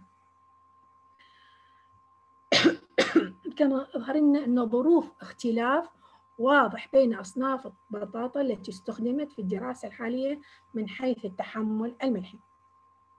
كما أظهرت النتائج أن كالس الصنف بطاطا لزتة كان الأفضل في التحمل الملحي. أنا طرقت لحضاراتكم استخدمنا لزتة وأرنوفا وسفاري لكن لكن الصنف لزتة كان الأفضل في التحمل الملحي والإخلاف في نسبتي البرولين والكربوهيدرات. في خلا في خلايا مقارنة بالصنين بالصنفين أرنوفا وسفاري فضلا إلى استجابته للتوليفة اللي حصلت بين كلوريد الصوديوم وحامض السالسيليك أيضا راح نلاحظ تفوق الصنفين ريزيتا وأرنوفا في إعطاء كالس تحت التأثير الملحي 100 مليمول مقارنة بالصنف السفاري الذي فشل في هذا التركيز ولذلك استبعدناه التوصيات. نوصي باتباع تقنية الزراعة النسيجية لتقييم أصناف البطاطا التي تزرع في العراق وبالأخص المنطقة الجنوبية. مثل ما ذكرت لحضراتكم البداية أنا من محافظة البصرة. أه تعاني البصرة ما تعاني من من الملوحة. أه أدت إلى نهاية عديد من الأراضي الزراعية مع الأسف الشديد. فلذلك يعني تقنية الزراعة النسيجية ربما ربما تدخلنا إلى مدخل لإنقاذ هاي المحافظة المعطاء من أثر الملوحة. قلنا بالأخص المنطقة الجنوبية من ناحية تحملها لمستويات الإجهاد الملحي المختلفة. أيضا نوصي باستخدام حامض السالسلك بتركيز 0.25 مليمول لتقليل الإجهاد الملحي لنبات البطاطا. والنقطة الأخيرة نوصي بتبني صنف البطاطا لزته وزراعته في المناطق ذات التأثير الإجهادي الملحي. وشكرا لمتابعتكم والإصغاء. تحياتي لحضراتكم. أستاذ سعيد.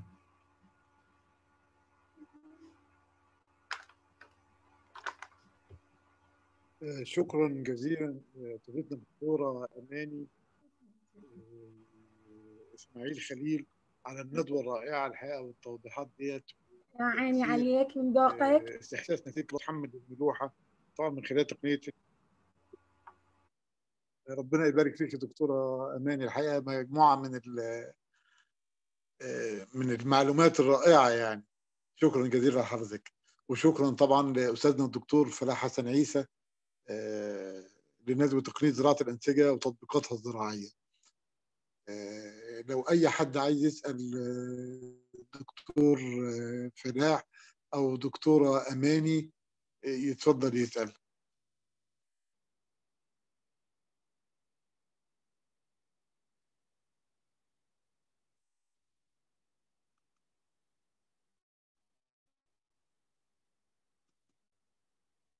أي حد عنده سؤال يتفضل.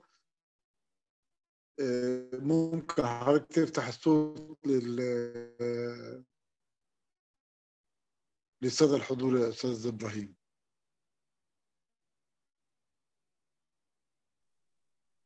كل واحد يقدر يلغي الميوت من عنده يا فندم. أنا لا مش مش قافل عليا. تمام. أي حد عنده سؤال يرفع إيده. أو يكتب السؤال بتاعه أو يفتح الصوت ويتكلم. هو الحقيقة كان في دكتور إبراهيم صابر كمان أستاذنا دكتور فلاح ما هي أهم الأسمدة لزيادة إنتاج الانسجه إنما هو يمكن يقصد به زيادة إنتاج الدرانات في زراعه الانسجه الحقيقة مش عارف. دكتور إبراهيم كمال صابر موجود. حضرتك افتح الصوت يا دكتور فلاح. حضرتك افتح الصوت عند حضرتك. نعم. هسه حاليا تسمعوني زين؟ آه تفضل من ناحية الدرنات في حالة إذا اللي يقصد ال micro tubers الناتج من الزراعه النسيجية في اعتياد الموراشيج وسكوج واعتيادي إحنا نضيف الكاينيتين بتركيز الأربعة ملي جرام باللتر وأوكسين point 2 وأيضا نضيف أيضا بعض الفيتامينات وبعض المواد اللي تساعد أو تحسن من نمو النبات. بس إذا يقصد بال soil culture ال soil culture عندنا مراحل مختلفة عندنا أفضل شيء لتكوين الدرنات هي الاسمده البوتاسية، الاسمده البوتاسية تنضاف بتراكيز آه، أعلى مما كانت بالبداية، يعني إحنا بالبداية بداية موسم ال sprouting يعني ونمو النبات بداية نمو النبات وبداية تكون ال stolon نضيف تقريبا 300 ملي جرام باللتر يعني 300 ppm بالنسبة للبوتاس وحدة العنصر البوتاس. ومرور الوقت بها مجال ان نزوده من 360 إلى 400 ppm زين بالمحلول المغذي. فهذا إذا يقصد بالمحلول المغذي البوتاس فقط البوتاسيوم 360 ppm المفروض إحنا نضيفه في مرحلة تكون الدرنات نعم. ألو؟ سامعيني؟ تفضل يا دكتور. اتفضل في أي أسئلة ثانية تفضل دكتور خالد. خالد. السلام عليكم. وعليكم السلام ورحمة الله. دكتور خالد فتحي معهد الهندسة الوراثيه جامعة مدينة السادات مصر. أهلا وسهلا. استفسار كده بالنسبة للزراعه يا مرحبا استفسار كده بالنسبة لمجال زراعة الأنسجة ده تخصصنا طبعا. أنا ما أعرفش أنتوا قيمتوا بعض الدرنات من أصناف مختلفة في العراق الشقيق. تحت معدلات ملوحة مختلفة وتحت معدلات salicylic acid. بس الجزء النباتي يعني هل أنتوا تحصلتوا منها على micro tuber مثلا كنطاق تجاري من الأصناف دي؟ كبديل للاصناف التقليدية كذلك مش شايف إن الفرق كان معنوي جامد باستخدام السلسليك أسيد مع الملوح؟ فما أعرفش التعقيب بتاع حضرتك. العفو نويلية سؤال؟ أجاوب أستاذ سعيد؟ تفضل تفضل دكتور خ... تفضل دكتور فلاح تفضل. بالنسبة للدرنات إحنا دائما بشكل عام المستويات القليلة من الملوحة المستويات القليلة من الملوحة. مرات تعطينا النمو خضري تعطينا نمو خضري أفضل من النمو الخضري بالنسبة للنباتات اللي ما تتعرض للملوحة. بس وين راح تبين؟ راح تبين عندنا بالحاصل. زين؟ بالحاصل راح يكون عندنا إنه يتأثر بشكل كبير. هاي في حالة المستويات القليلة من الملوحة. ال micro tubers كالانتاج التجاري ال mass production. إذا إنتاج تجاري إذا من الشتلات من الممكن إنه واحد يأخذ الشتلات ويزرع الشتلات بسنادي أو peat moss أو يزرعها بال soilless culture وينتج راسا مباشرة درنات بدون المرور بال micro tubers بس الدرنات المنتجة بال soil culture راح تطلع من tuber مو micro tubers ال micro tubers هي اللي منتجة بتقنية زراعة الأنسجة النباتية foundation seeds انه تعتبر أو بذور النواة. زين؟ فمن ناحية الملوحة الشطر الثاني من السؤال. إنه من ناحية الملوحة لها تأثير. نعم لها تأثير. هي أعطتنا إنه لها تأثير. بس إحنا داخل ال test tube إحنا نحاول نشوف بها مجال هاي الطفرات. إحنا هسه حاليا عندنا طالب دكتوراه. دا يكمل على ال mini tuber الناتجة من عمليات التطفير. هذا الجزء الأول من التجربة إحنا اللي شرحناها هسه حاليا بالمحاضرة. الجزء الأول بالمحاضرة اللي إحنا قلنا الملوحة العشرة ال deci siemens وال 12 deci siemens ال control ما أعطتنا نباتات. النبات توقف تقريبا إنه شبه إنه مات بالنسبة لهاي الدرجات. أما بالنسبة للطفرات اللي حصلنا عليها باستخدام ال gamma ray لا أعطتنا درنات. بس يا ترى الدرنات تجارية مو تجارية إحنا بالنسبة لنا لحد ما نزرعها بالحقل ونشوف بعدين نتائجها. وهسه في مرحلة البحث آه، عندنا طالب بالدكتوراه هسه يكمل بهذا الجانب. بده ياخذ ال mini tuber ويجربها بالزراعة ويشوف مدى تأثير الملوحة في حالة زراعتها بالحقل. نعم. طب بالنسبة لتركيب الميديا ما ذكرتوش إيه ال supplement؟ يعني ذكرتوا إن ال MS media دي معروفة already بس هل انت استخدمتوا MS media كاملة ولا ربع ولا ثلاث أرباع؟ لا. بالاضافه لل supplement من الاكسين وال cytokine ما كانتش واضحة التركيزات المستخدمة في إنتاج لو سواء ال mini tube ولا ال micro tube اللي استخدمتوها في البحث ال- بالنسبة لل micro tuber ال micro tuber استخدمنا الموراشيج والسكوج بدفعة كاملة. إحنا شو وقت نستخدم هالنص دفعة؟ نص دفعة مرات نستخدم في مرحلة الأقلمة. إنت تعرف إنه حضرتك إذا مشتغل بز- بزراعه الأنسجة أنا متأكد إنه إنه حضرتك اختصاص بهذا المجال. فمرحله الأقلمة إحنا نعطيه نص دفعة أو نص قوة إحنا نصيح لها من ال MS أو ربع قوة من MS على مود النبات يبدا إنه يتعود. بس داخل ال test tube لا نعطيه إنه دفعة كاملة من ال MS ال MS إحنا عندنا ال control انت لو تشوف قياس ال MS الملوحة مالته الطبيعية داخل الميديا هو 5.8 دي سي سيمنز 5.8 دي سي سيمنز أصلا بالأساس هو stress. بس إحنا داخل ال test tube لازم تعطي ال Murashige و Skoog صح كلامك صحيح إنه في حالة إحنا إذا ضفنا نص قوة جوز احتمال الملوحة تكون عندنا أقل. بس إحنا لازم نضيف إنه قوة كاملة حتى نعوض العناصر الغذائية اللي يحتاجها النبات. إحنا راح نقارن بالحالة الطبيعية في حالة استخدام القوة كاملة من ال MS بالنسبة للدرانات الغير مطفرة والدرانات المطفرة نستخدم ال MS ونشوف مدى تأثيره. وبعدين نضيف له كلوريد الصوديوم ونشوف مدى تأثيره هل هو يتحمل ملوحة؟ فإحنا درسنا الحد ال 20 آه، الحد ال 12 ال 15 ال decisiemens. اعطتنا الحد ال 12 decisiemens اعطتنا آه، درانات. درانات قليلة صح.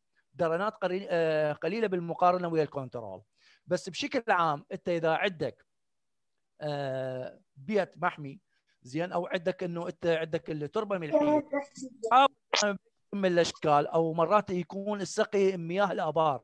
مياه الآبار بدرجة ملوحة 5.8 أنت إذا حصلت على هاي الدرنات اللي بيها صفة تحمل الملوحه آه، بال 5.8 زين؟ أو درجة آه، ملوحة ماء البئر اللي بعض المناطق عندنا نسبه بيها يوصل تقريبا 3 ال decisiemens النبات راح يعطيك إنتاج تجاري بالنسبة لهاي الدرنات. بس أنا أقول لك إياها من ناحية القوة الكاملة صح إحنا اعطينا إنه قوة كاملة للنبات حتى نحافظ على القيمة الغذائية والعناصر الغذائية اللي يحتاجها النبات. نعم. تمام. تمام. شكرا دكتور فلاح. هو يمكن دكتور خالد كمان بيسأل سؤال بيقول آه، هل الأصناف اللي, اللي تمت المعاملة بيها ديت آه، أصناف دي تم إنتاجها تجاريا في العراق؟ الاصلا إحنا أصلا بالأساس الدرنات التقاوي إحنا نستوردها سنويا من ال- من الشركات الزراعية. نستورد ال super elite ونكثر من عدة ال micro tubers كإكثار خضري. زين وبدينا بهذا البرنامج بس بظروف الحرب البرنامج. نعم. تمام. شكرا. سهلا. طيب آه، آه، تمام كده يا دكتور خالد؟ أيوه شكرا أستاذ دكتور سعيد. كان بس بقى جزء تاني الدكتورة كانت شرحت إن هي برضه في الاختصاص بتاعها بالنسبة للجزء بتاع زراعة الأنسجة استخدمت بعض البيئات في إنتاج نخيل البلح البرحي. فلو تدينا. برضه فكرة الدكتورة أماني كانت. برضه أشارت إنها برضه من ضمن الاختصاص إنها أجرت بعض التجارب على صنف البرحي ده. موجود في مصر حاليا الصنف ده موجود على النطاق التجاري في المزارع الصحراوية. بس للأسف إحنا. ما عندناش بروتوكول جامد في إنتاج شتلات النخيل. إحنا عندنا معهد متخصص أنا شغال في معهد الهندسة الوراثية إحنا عندنا بعض الزملاء متخصصين في النخل. بس للأسف هم شغالين بال direct وال indirect method نعم بس برضه لازال عندنا بعض المشاكل سواء كان في التزهير أو خلافه في إنتاج شتلات قوية من نخلة البرح. فما أعرفش لو تدينا فكرة برضه عن البيئة المستخدمة في الإكسار التجاري كماس برودكشن شكل لحضرتك آه، مساء الخير أستاذ خالد. اتفضلي دكتور. هلا. آه، مساء النور تمام هلا تفضل. وعين هلا بك أستاذ خالد بحث النخيل هو آه، رسالة الماجستير اللي ابتديتها من سنة 1999 والحمد لله انتهت نهاية عام 2002 ركزنا. بهذه الدراسة على صنف النخيل آه، صنف البرحي للنخيل. البرحي أستاذ خالد معروف بمحافظة البصرة وخصوصا في منطقة أبو الخصيب. هذا من الأصناف اللي يعني وبدأ ينتشر عندنا في مصر بدون مقاطعة لحضرتك مدى الصنف ده موجود حاليا في مصر على النطاق التجاري موجود. نعم بس أنا نعرف الصنف وأغلبنا كان okay. كان في مصر. okay. أستاذ خالد إحنا يعني إحنا جاي نحكي على مركز الصنف هو المنبع الأصلي له هي أكيد أيوه. العراق أيوه ما الصنف ده جاي مصر عن طريق العراق. تحكي لحضرتك وخصوصا أبو الخصيب هذا الصنف البرحي يعني من الأصناف اللي بالدرجة الأولى ممتاز جدا جدا جدا. بالطعم بالشكل بال يعني حتى المحتوى مالته يختلف عن بقية الأصناف. لذلك كان بحثي في دراسة الماجستير عن طريق الزراعة النسيجية آه، على صنف النخيل صنف على نبات النخيل صنف البرحي.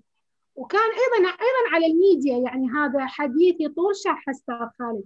إذا تحب نخصص فد يوم على النخيل وإن شاء الله وأنا مستعدة أط- يعني اتطرق وأقول كل معلومة توصلت لها وأعرفها إن شاء الله. طب كنا عايزين نعرف الأجزاء النباتية اللي كانت مستخدمة في الإكسار إيه في النخل البرحي هل واخدة من الجمارة ولا واخدة بذرة نعم ولا؟ نعم. الشوتب الشوتب من الجمارة؟ نعم. من الجمارة إيه. لنخيل البرحي وجبته من بستان يعني موثوق به ومعروف و... وثانيا آه، من أرض آه، معروفة بانتاجها لنب- لفسائل البرحي.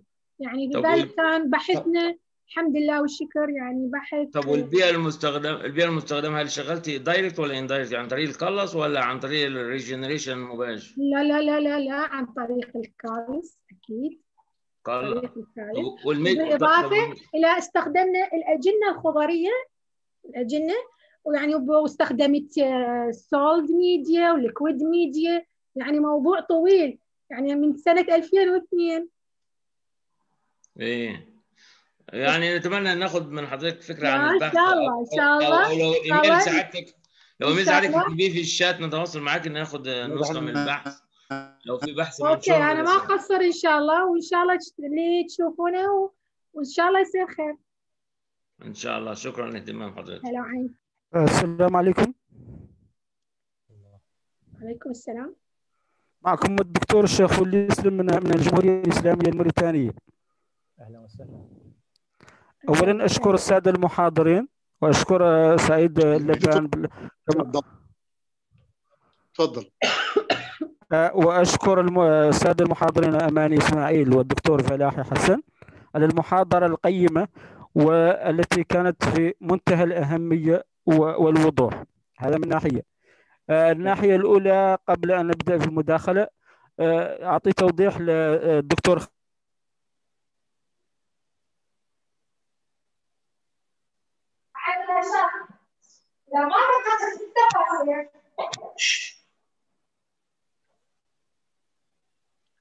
تفضل شيخ صوت. راح كده. عمار خالد سالم فيما يخص البرحي وفيما يخص آه، النخيل بصورة عامة. مخبر تقنيات الحيوية وأمراض النخيل متخصص طويل مصدر كان تونس. آه، تونس بدأنا ندخل في سؤال السادة المحاضرين بقدر التوضيح آه، الدكتور خ- الدكتور خالد. الطريقة المستخدمة طيب متعرف- متعرف بحضرتك لم نسمع دكتور سعيد. تفضل نعم. بقول نتعرف بحضرتك. نتعرف الشيخ بحضرتك. يس- الشيخ واللي يسلم من من موريتانيا الجمهورية الإسلامية الموريتانية. أهلا وسهلا أهلا وسهلا. تفضل آه، آه،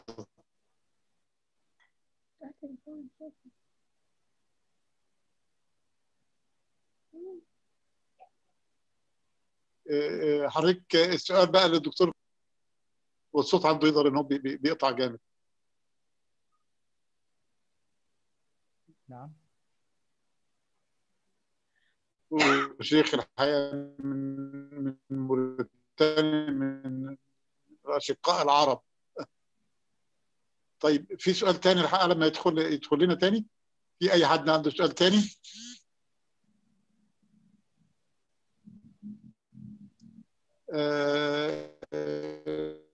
لو وممكن آه، نكتب الأرقام بتاعت اماني بحيث إن لو حد عايز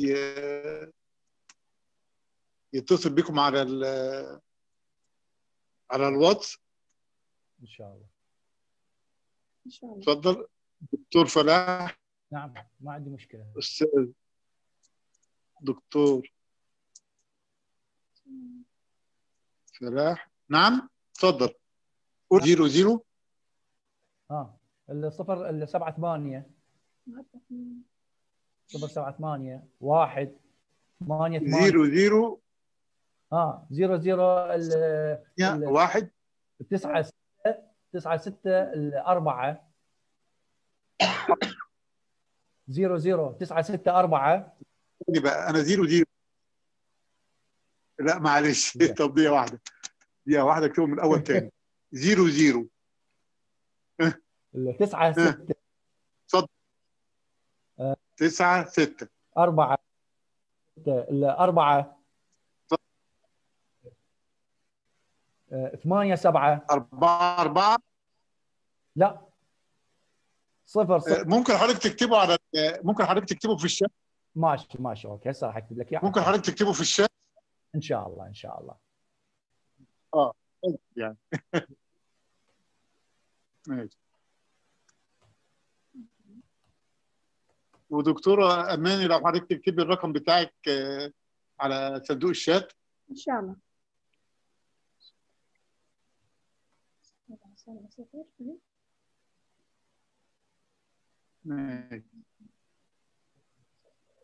من من سادة الحضور يحب يسأل الدكتور فلاح أو دكتورة أماني أي حاجة صفر تسعة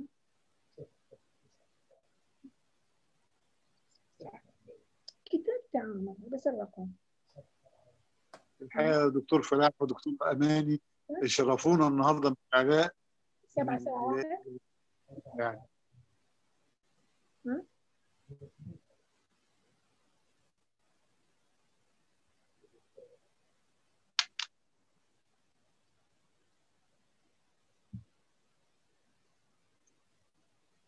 وصل الرقم أستاذ سعيد. ماشي.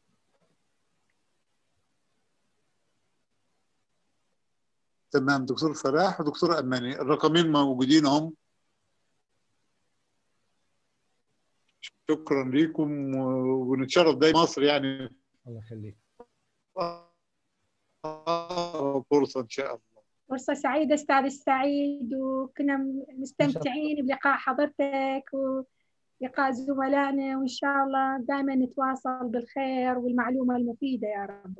الله حقيقة شكر موصول لأستاذي الأستاذ الدكتور فلاح اللي هو تلميذته. أنا. وأفتخر إنه يتواجد وياي وأتعلم منه وأظل أتعلم منه. يعني وصلت مرحلة والحمد لله رب العالمين وبعدني ما أخطي خطوة إذا ما أستشيره. وإذا ما يدليني المعلومة وال- والهدف الصحيح من الوصول إلى النتيجة المرضية إن شاء الله. شكرا جزيلا بارك الله بكم يشكرك. لكم وأنا الموفقين كنت شكرا جزيلا. شكرا. كنت دكتورة أمانة عشان ندوة تقول لي لا لازم دكتور فلاح يكون معايا. دكتور فلاح قدوتي ما أقدر قدوتي. الله يخليك. آه. أستاذي ومعلمي دكتور فلاح. الله يخليكم شكرا جزيلا شكرا جزيلا. رب يبارك فيكم. الله يخليكم. كل الخير إن شاء الله. شكرا دكتور فلاح شكراً. سهلا ان إلى لقاء قادم إن شاء الله. شاء الله إن شاء الله. كل الخير يا رب. والسلام. عليكم ورحمة الله وبركاته. مع السلامة. الله يحفظكم جميعا.